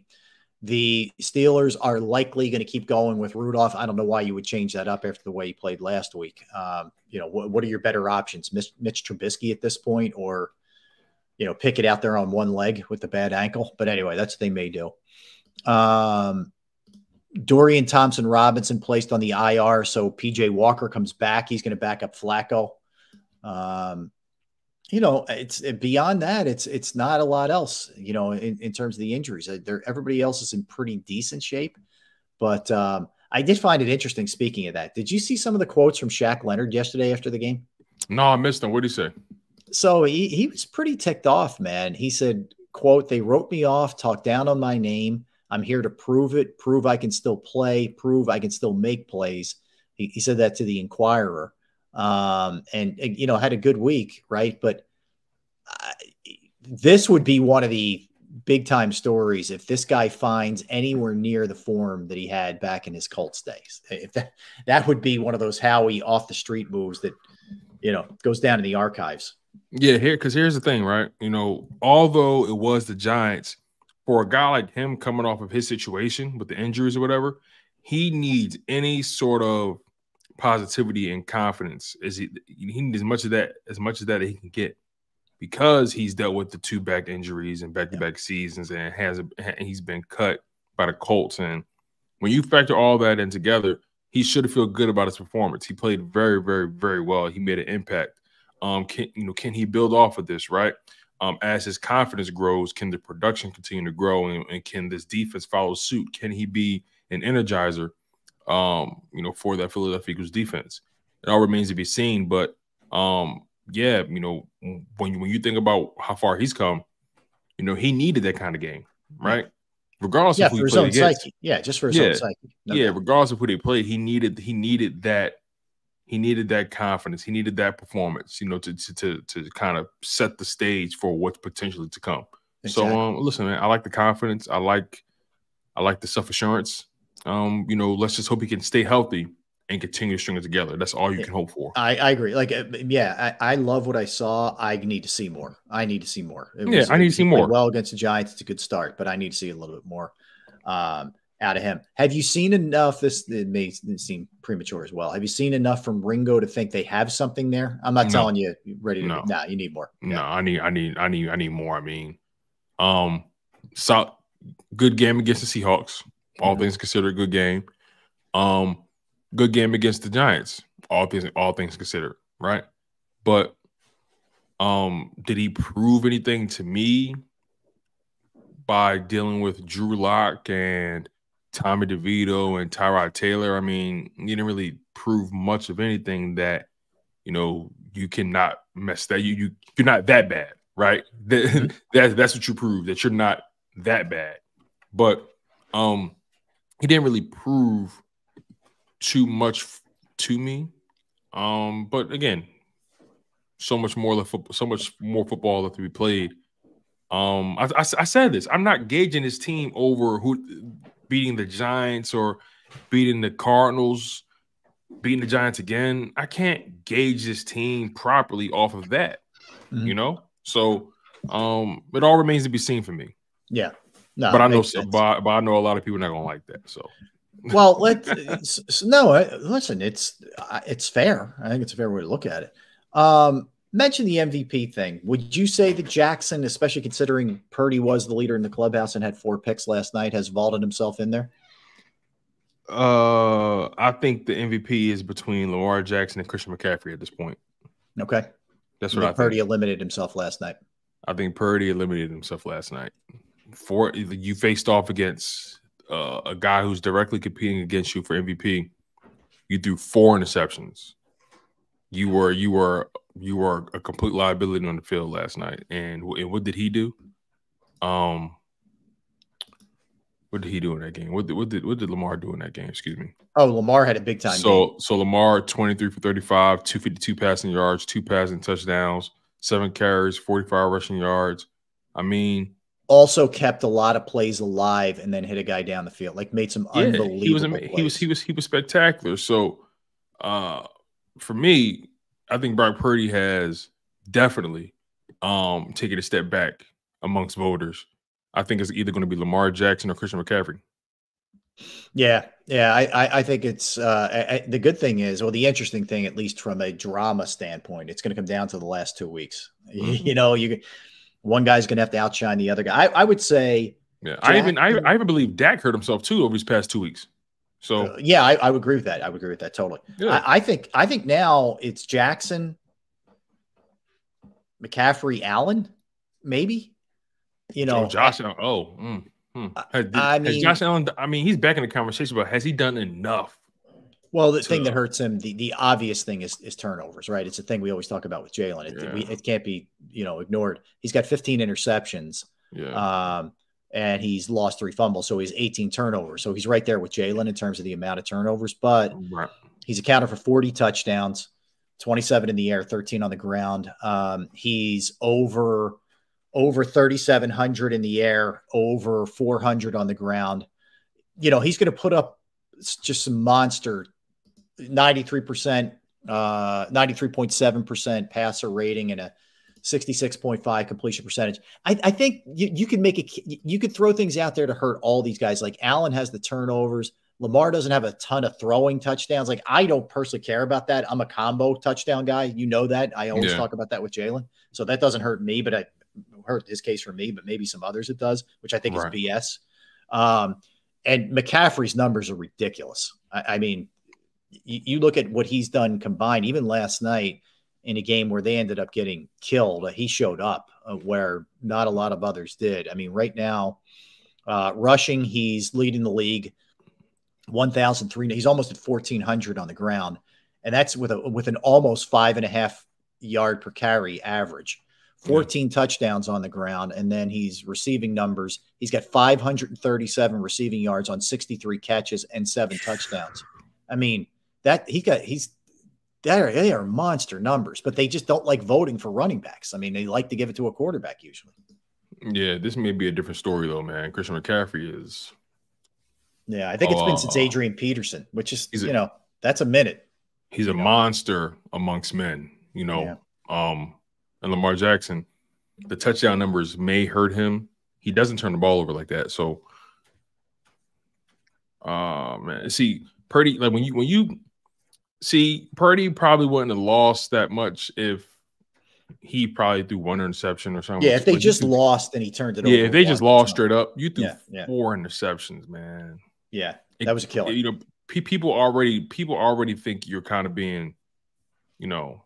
Yeah, you're a game manager to begin with. Yeah, people already have their opinion about you, and then when you have when you go up against certain teams or certain defenses and you look like that, it's just not a good look. If, if anything, it ele- if anything, it elevated the value of Christian McCaffrey. Remember, Trent Williams went out too, so it's like Trent Williams goes out, you go up against a, a mildly good def- uh, a defense that's good, mm-hmm. and you look like that. Four interceptions. It, it, it, if anything, it elevates the value of Trent Williams and Christian McCaffrey and lowers the value of, Doc, uh, of Brock Purdy. Yeah, I agree. But I, I still think, he, but I, but I still think he's playing very, very, very well. Um, one of the uh, one of the better quarterbacks in the NFL right now. Don't want to take nothing away from him, but I just believe his MVP candidacy has taken a major hit after that four interception performance. Oh, for sure, I agree with you. All right, let me let's run through the scores here. We'll go back to Saturday here. For I know a lot of people had, you know, a lot going on over the weekend, holiday wise. Um, so the Steelers beat the uh, the Bengals thirty four to eleven. You know, how about this? So in that game, uh, you had Mason Rudolph throwing for 290 yards, two touchdowns, no picks. You had Jake Browning in a losing effort throwing for 335 yards, but the difference was he threw three interceptions in that game. So uh, the backup quarterback's at least putting up a lot of yardage there. So then uh, the Bills had to eke one out on uh, on Saturday night. They won 24-22 over the Chargers. You know, Allen had all three of their touchdowns. You know, whatever. But the, it was it could have been ugly. You know, uh, it could have that that one would not have, have sat well with Bills fans, but they're 9 mm-hmm. and six now. Uh, the Colts lost to the Falcons. That's a tough loss for for Indy. That's a that's not a good loss. But they lost 29 to 10. Uh, a nice game for uh, for Bijan and and uh, Taylor Heinicke's been the quarterback. Uh, the Seahawks won 20 to 17. They had to come back in that game against the Titans. Uh, Geno came back, threw a couple of touchdown passes, had a good game. Uh, the Lions beat the Vikings, where that's the game you talked about. Nick Mullens had 411 passing yards, but the four picks killed him. Uh, good game for Justin Jefferson, who, who is back now, but Detroit just had too much. Uh, the Jets beat the Commanders. We mentioned they've lost six, eight straight. Has Washington? Jets uh, are six and nine on the season. Then you go to the Packers beat the Panthers 33 30, a tight one. Actually, a game that the Panthers really could have won the Browns beat the Texans 36 22. No CJ Stroud in that game. Uh, Flacco, 368 yards.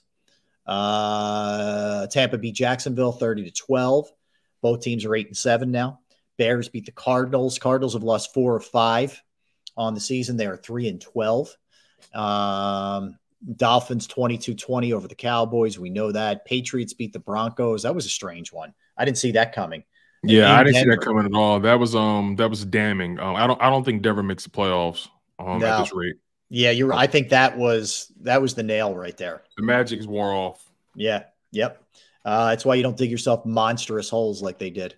Um, the Raiders beat the Chiefs. Amazing. Uh, that game was in Kansas City too. On top of everything else, um, twenty to fourteen.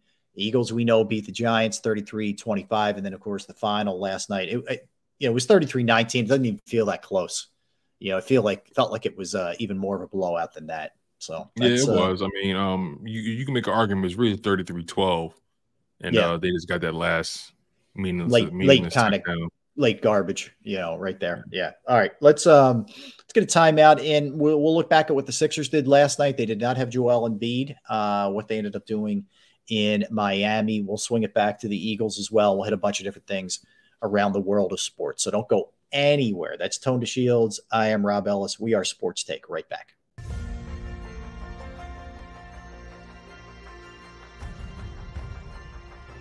I remember getting my heart broken when they lost the Super Bowl in 2004.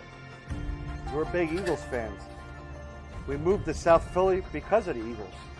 When they won, we went straight to Broad Street, and uh, everybody was going nuts over there, and it was just a, a memory that you'll never forget.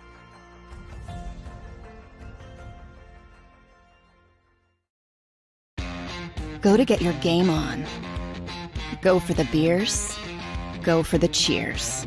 Go for the hit and the hits. Go for the stakes and the stakes. Go to get your parlay on. Go to get your party on. Go for the scene. Go for the screens. Go for the gallery.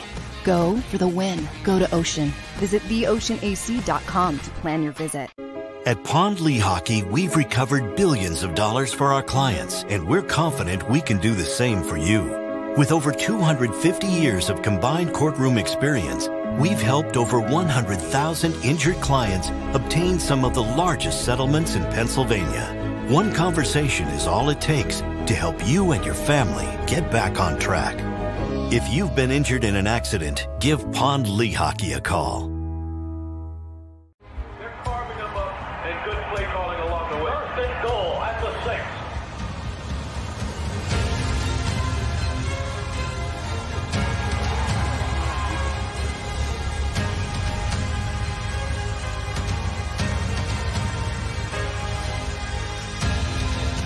Field of life, Firstrust Bank is there for you.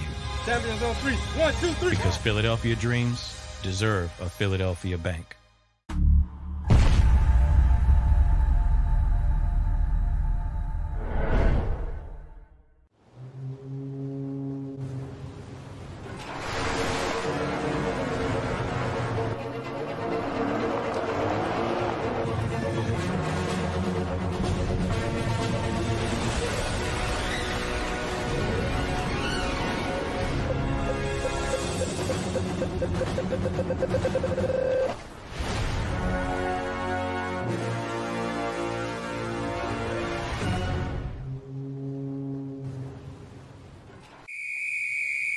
Underdog Fantasy has a way for you to play alongside your favorite football team all season long with their fantasy pick'em game. You pick between two to five players, select whether they'll go higher or lower on one of their stats, then do what you usually do on a Sunday watch the games. You can win up to 20 times your money in a single game by going five for five. It's a fantasy game, and the sports betting show wants you to get involved. Go to UnderdogFantasy.com. When you sign up, use the promo code WIN, and Underdog will double your first deposit up to $100. That's UnderdogFantasy.com. Use the promo code WIN. Do you stream on a Roku, Fire Stick, Google TV, or Apple TV? Now you can watch 6ABC 24 7 with the 6ABC Philadelphia streaming app. For the big story on Action News, search 6ABC Philadelphia and start streaming today. E A G L E S. Eagles.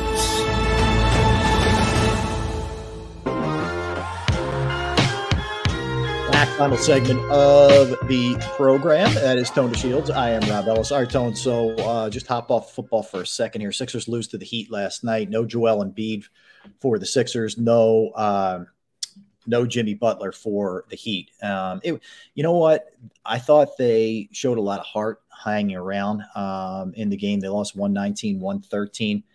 It was a night where this was a very rare off night, like a badly off night for Tyrese Maxey. You, I don't Yeah. think we see that very often. It happens. You know, it happens. He was four for 20 uh, from the floor, one of eight from three. And if he's even okay, they probably win the game if he's even decent. He was just Yeah. off. It happens.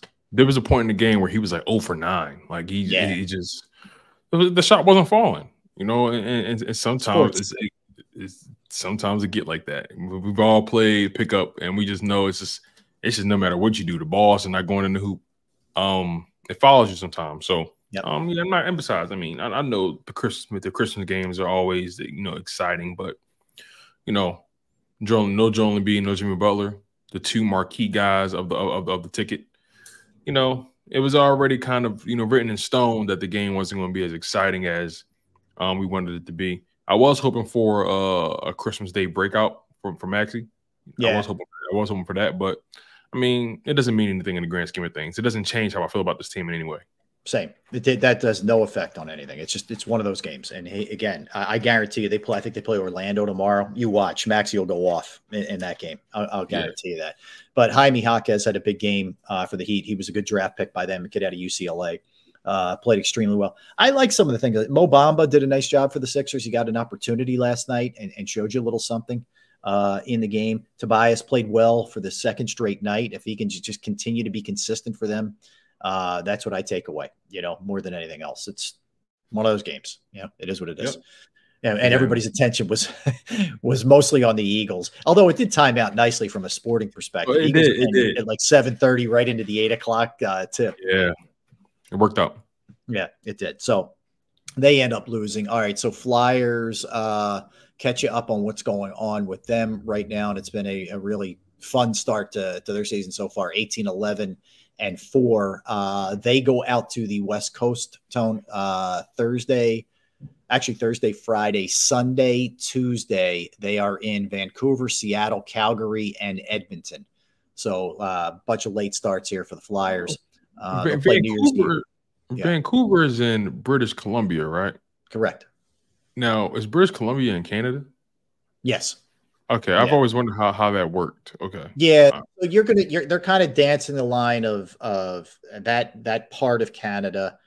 Then they go to Seattle, then they go to Calgary, then they go to Edmonton. So you're you're you're sort of dancing on like the western part of all that, uh, if that makes sense. And then um, after that, they come back uh, for a geez four game homestand. One, two, three, four game homestand. So we'll see if they can keep this thing going. Like ultimately, do I think they're going to be a team that's seven games over 500 probably not um, but do i like what i've seen so far from them yes they play tough play really really tough um, Yeah.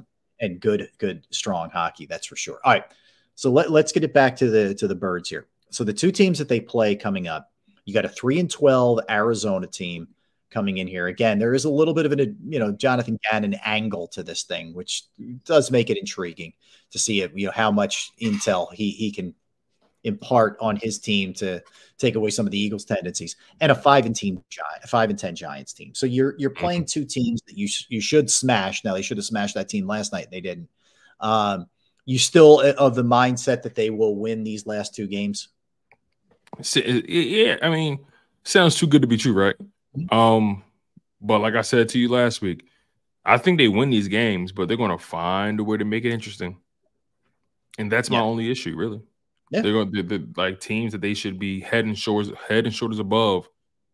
They're going to you know they're going to treat them for about a quarter or so like they're on their level, and it's going to keep that team in the game. And you know the Eagles are going to have to make a couple plays down the stretch, you know, to close out the matchups, but you know, I, like I said, I, I'm not I'm not in the position to walk into any game with the Philadelphia Eagles just saying, "Oh, they're just going to smack this team." No, I think they're going to win the game, but uh, it's they they're, they're going to make it way more entertaining than it has to be. Yeah, I I would agree. I mean, well let let's start with Arizona they have this week. If you look at the the league standings, so the league standings are basically, you know, uh, pretty self-explanatory, but it's best to last. Right now, Arizona uh, has the second worst record uh, in the NFL, only behind Carolina, who doesn't even own their their own pick, which is a nightmare scenario. Uh, your sense here of what they may do, do you think that they will take a quarterback or do you think they're going to roll with Kyler Murray and try to help themselves in other places? Uh, they're rolling with Kyler. They're going to spend they're going to spend the assets in uh, other places. Uh, look, he's a tough defender. He, he he's a tough defense. Like it, it- it's hard to defend Kyler Murray because of how dan- dynamic his game is. I don't know how explosive. I haven't watched him play since he's been back. Um, but I don't, and and I don't know how explosive explosive he is. He still is after dealing with, you know, um, that major. What was his knee, right? Yes, So, ACL. yeah. So who knows how explosive he is or has been? Mhm. All remains to be seen. Regardless, he still has a lot of speed on him, though. He's going to be a tough cover. I think the Philadelphia Eagles they struggle against mobile quarterbacks. They struggled against Josh Allen. They couldn't get him up the field. They even struggled with Tyrod Taylor, you know, a little bit um, as far as to keep him in the pocket. So we're going to see how this thing pans out. Uh, I think there's definitely going to be moments on third down, third and eight, third and nine, where if we, we, we think we got Kyler Murray dead to rights, and all of a sudden he escapes and he breaks a for a 12, 15 yard run. We're going to see a lot of those, um, you know, this coming Sunday. Yeah, and I don't think that I, I know some people are, are saying in the chat that they're tanking. I don't think they're tanking. I, I think they're just not good. Oh like I still think the the objective for them is to try and win. Now, ultimately, you can you can have yourself tanked by just taking the talent off the roster, and I think that's kind of you know what they've done. But yeah, if they were ta- if, if they were blatant, maybe maybe they're not blatantly tanking, but if if they were blatantly tanking, to you you know to you guys' point, I don't think they would have let Kyler come back. Right. You, you'd be rolling with the, the, the trash that they have. You, you, know what I mean? Like uh, Clayton Tune and, and, and, some of the other backups that they would be rolling out. That's probably what you would likely do. I mean, even look at the Giants. I mean, the Giants are what they are, but they're not tanking. That team's still trying, you know? Yeah, they definitely were trying. They, they, were trying yesterday for sure. Yeah. And, um, so, so far, Kyler Murray's played six games.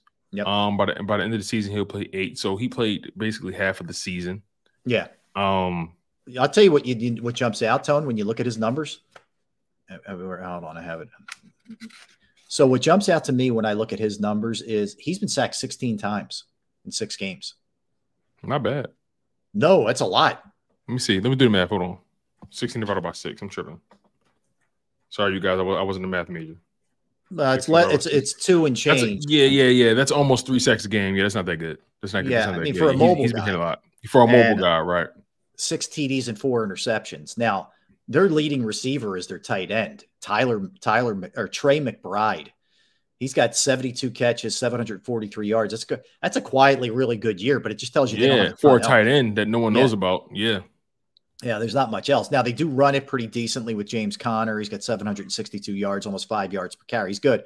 But I told you earlier, their deep, their offense is 26th in scoring. They do run it well. They're ninth in rushing, but they're 29th in passing. Most of that is mm. because you were playing with backups until Murray came back. Defensively, 31 points, 32nd rush, 16th in pass. You know, it's they're one and seven on the road, too. They only have one road win this season. Wow. Again, I'm going to tell you same thing we talked about last week. This should be an easy win. You know what's crazy? Kyzir White's been on IR for like a month, and he still leads their team in tackles. No kidding. By a long shot. Wow. He has 90 yeah. tackles. The next the next closest guy is Budda Baker with 73. Jalen Thompson, 73. Josh Wood, 61. Um, they've been they've battled a lot of injuries on defense this the season, but Kyzir White has 90 total tackles on the year, and he's been on. He's only played 11 games. Mm. Um, so he's been he's been their best defender when he's been out there. Um, the most consistent one, I guess I'll say. But yeah, man, this should be a game the Philadelphia Eagles win, but they're going to be challenged with you know James Conner. They're going to be challenged with uh, Kyler Murray's um, speed and elusiveness in the pocket. Um, yeah, man, this game is going to be uncomfortable to watch. Yeah, probably, probably will. Um, all right, so we we mentioned, you know, let's go uh, with some positives here. Britton Covey, fifty-four yard punt return. Um, he's he's making a real push to be the punt returner in the Pro Bowl, and, and as he should. You know, I, I, give him credit. He he, he should be uh, in consideration for that for sure. That was a good sign. DeAndre Swift returning back to really earlier in the season kind of form was a really good sign. I thought mm-hmm. Jalen had his moments like that. You mentioned the throw to AJ Brown, which was a great throw where he just kind of dropped it in. I just thought he did a really good job not taking off, but climbing up the pocket, knowing where he was exactly on the field and making that play. So there were some positives there. All three guys, I mean, if you think about it, AJ, DeVonta, and Goedert all put up pretty good numbers, mm-hmm. all things considered. He spread the ball out to those three very, very nicely. So that was a good thing. Um, Shaq Leonard, seven tackles, a sack, two tackles for losses. Reddick with four QB hits was a very good sign as well. Mm-hmm. Um, so they had some they had some good things to you know going on in this game. There were some other things that were their fault that that overshadowed it. Some things were a little bit of bad luck, but nonetheless, um, you know, the biggest thing is Stop turning the ball over. They have 23 and 15 games as a team.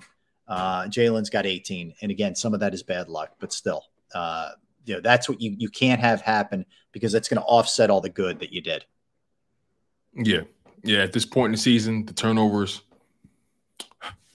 you know, it's almost like at this point you got to bank on them turning the ball over at least once. You just don't know, you know, you just don't know where or how it's going to happen. Yeah. Um, you know, there was a point. There was a point where I was saying to myself, you know, I trust Jalen Hurts with the ball more than anybody. Mm-hmm. Um, now he's liable. He, he's liable to making a mistake somewhere. So he so he needs to find a way to shake that off. Um, I'm not sure what goes into the off season, um, as far as you know doing that, but it's just it just it just comes comes down to being a better a better decision maker, um, making more making more good plays than bad plays. Mm-hmm.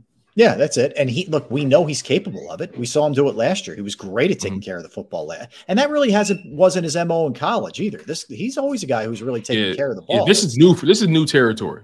This is new territory yeah. for him. Yeah, I I think you know the other thing is Tone when it when like we all because he had such a great year last year. I think we all thought that he was just like a finished product, uh, where he where, where there weren't going to be any little stumbles, and that was that's probably unfair considering he's you know still relatively young at 25 years old that there are going right. to be some mistakes made and you know that you can learn off and get better from and you know i think it's just natural to you talk to any quarterback and they're going to tell you in their third year as a starter they're nowhere near what they were in their sixth year as a starter and he's you know he's going through some growing pains it's not a linear yeah. climb right right yeah I, that's a good point it's not a linear climb it's not as simple as just one foot in front of the other you're going to have moments where you take a step or two back but you have mm-hmm. to find a way to always take more steps forward than you do back.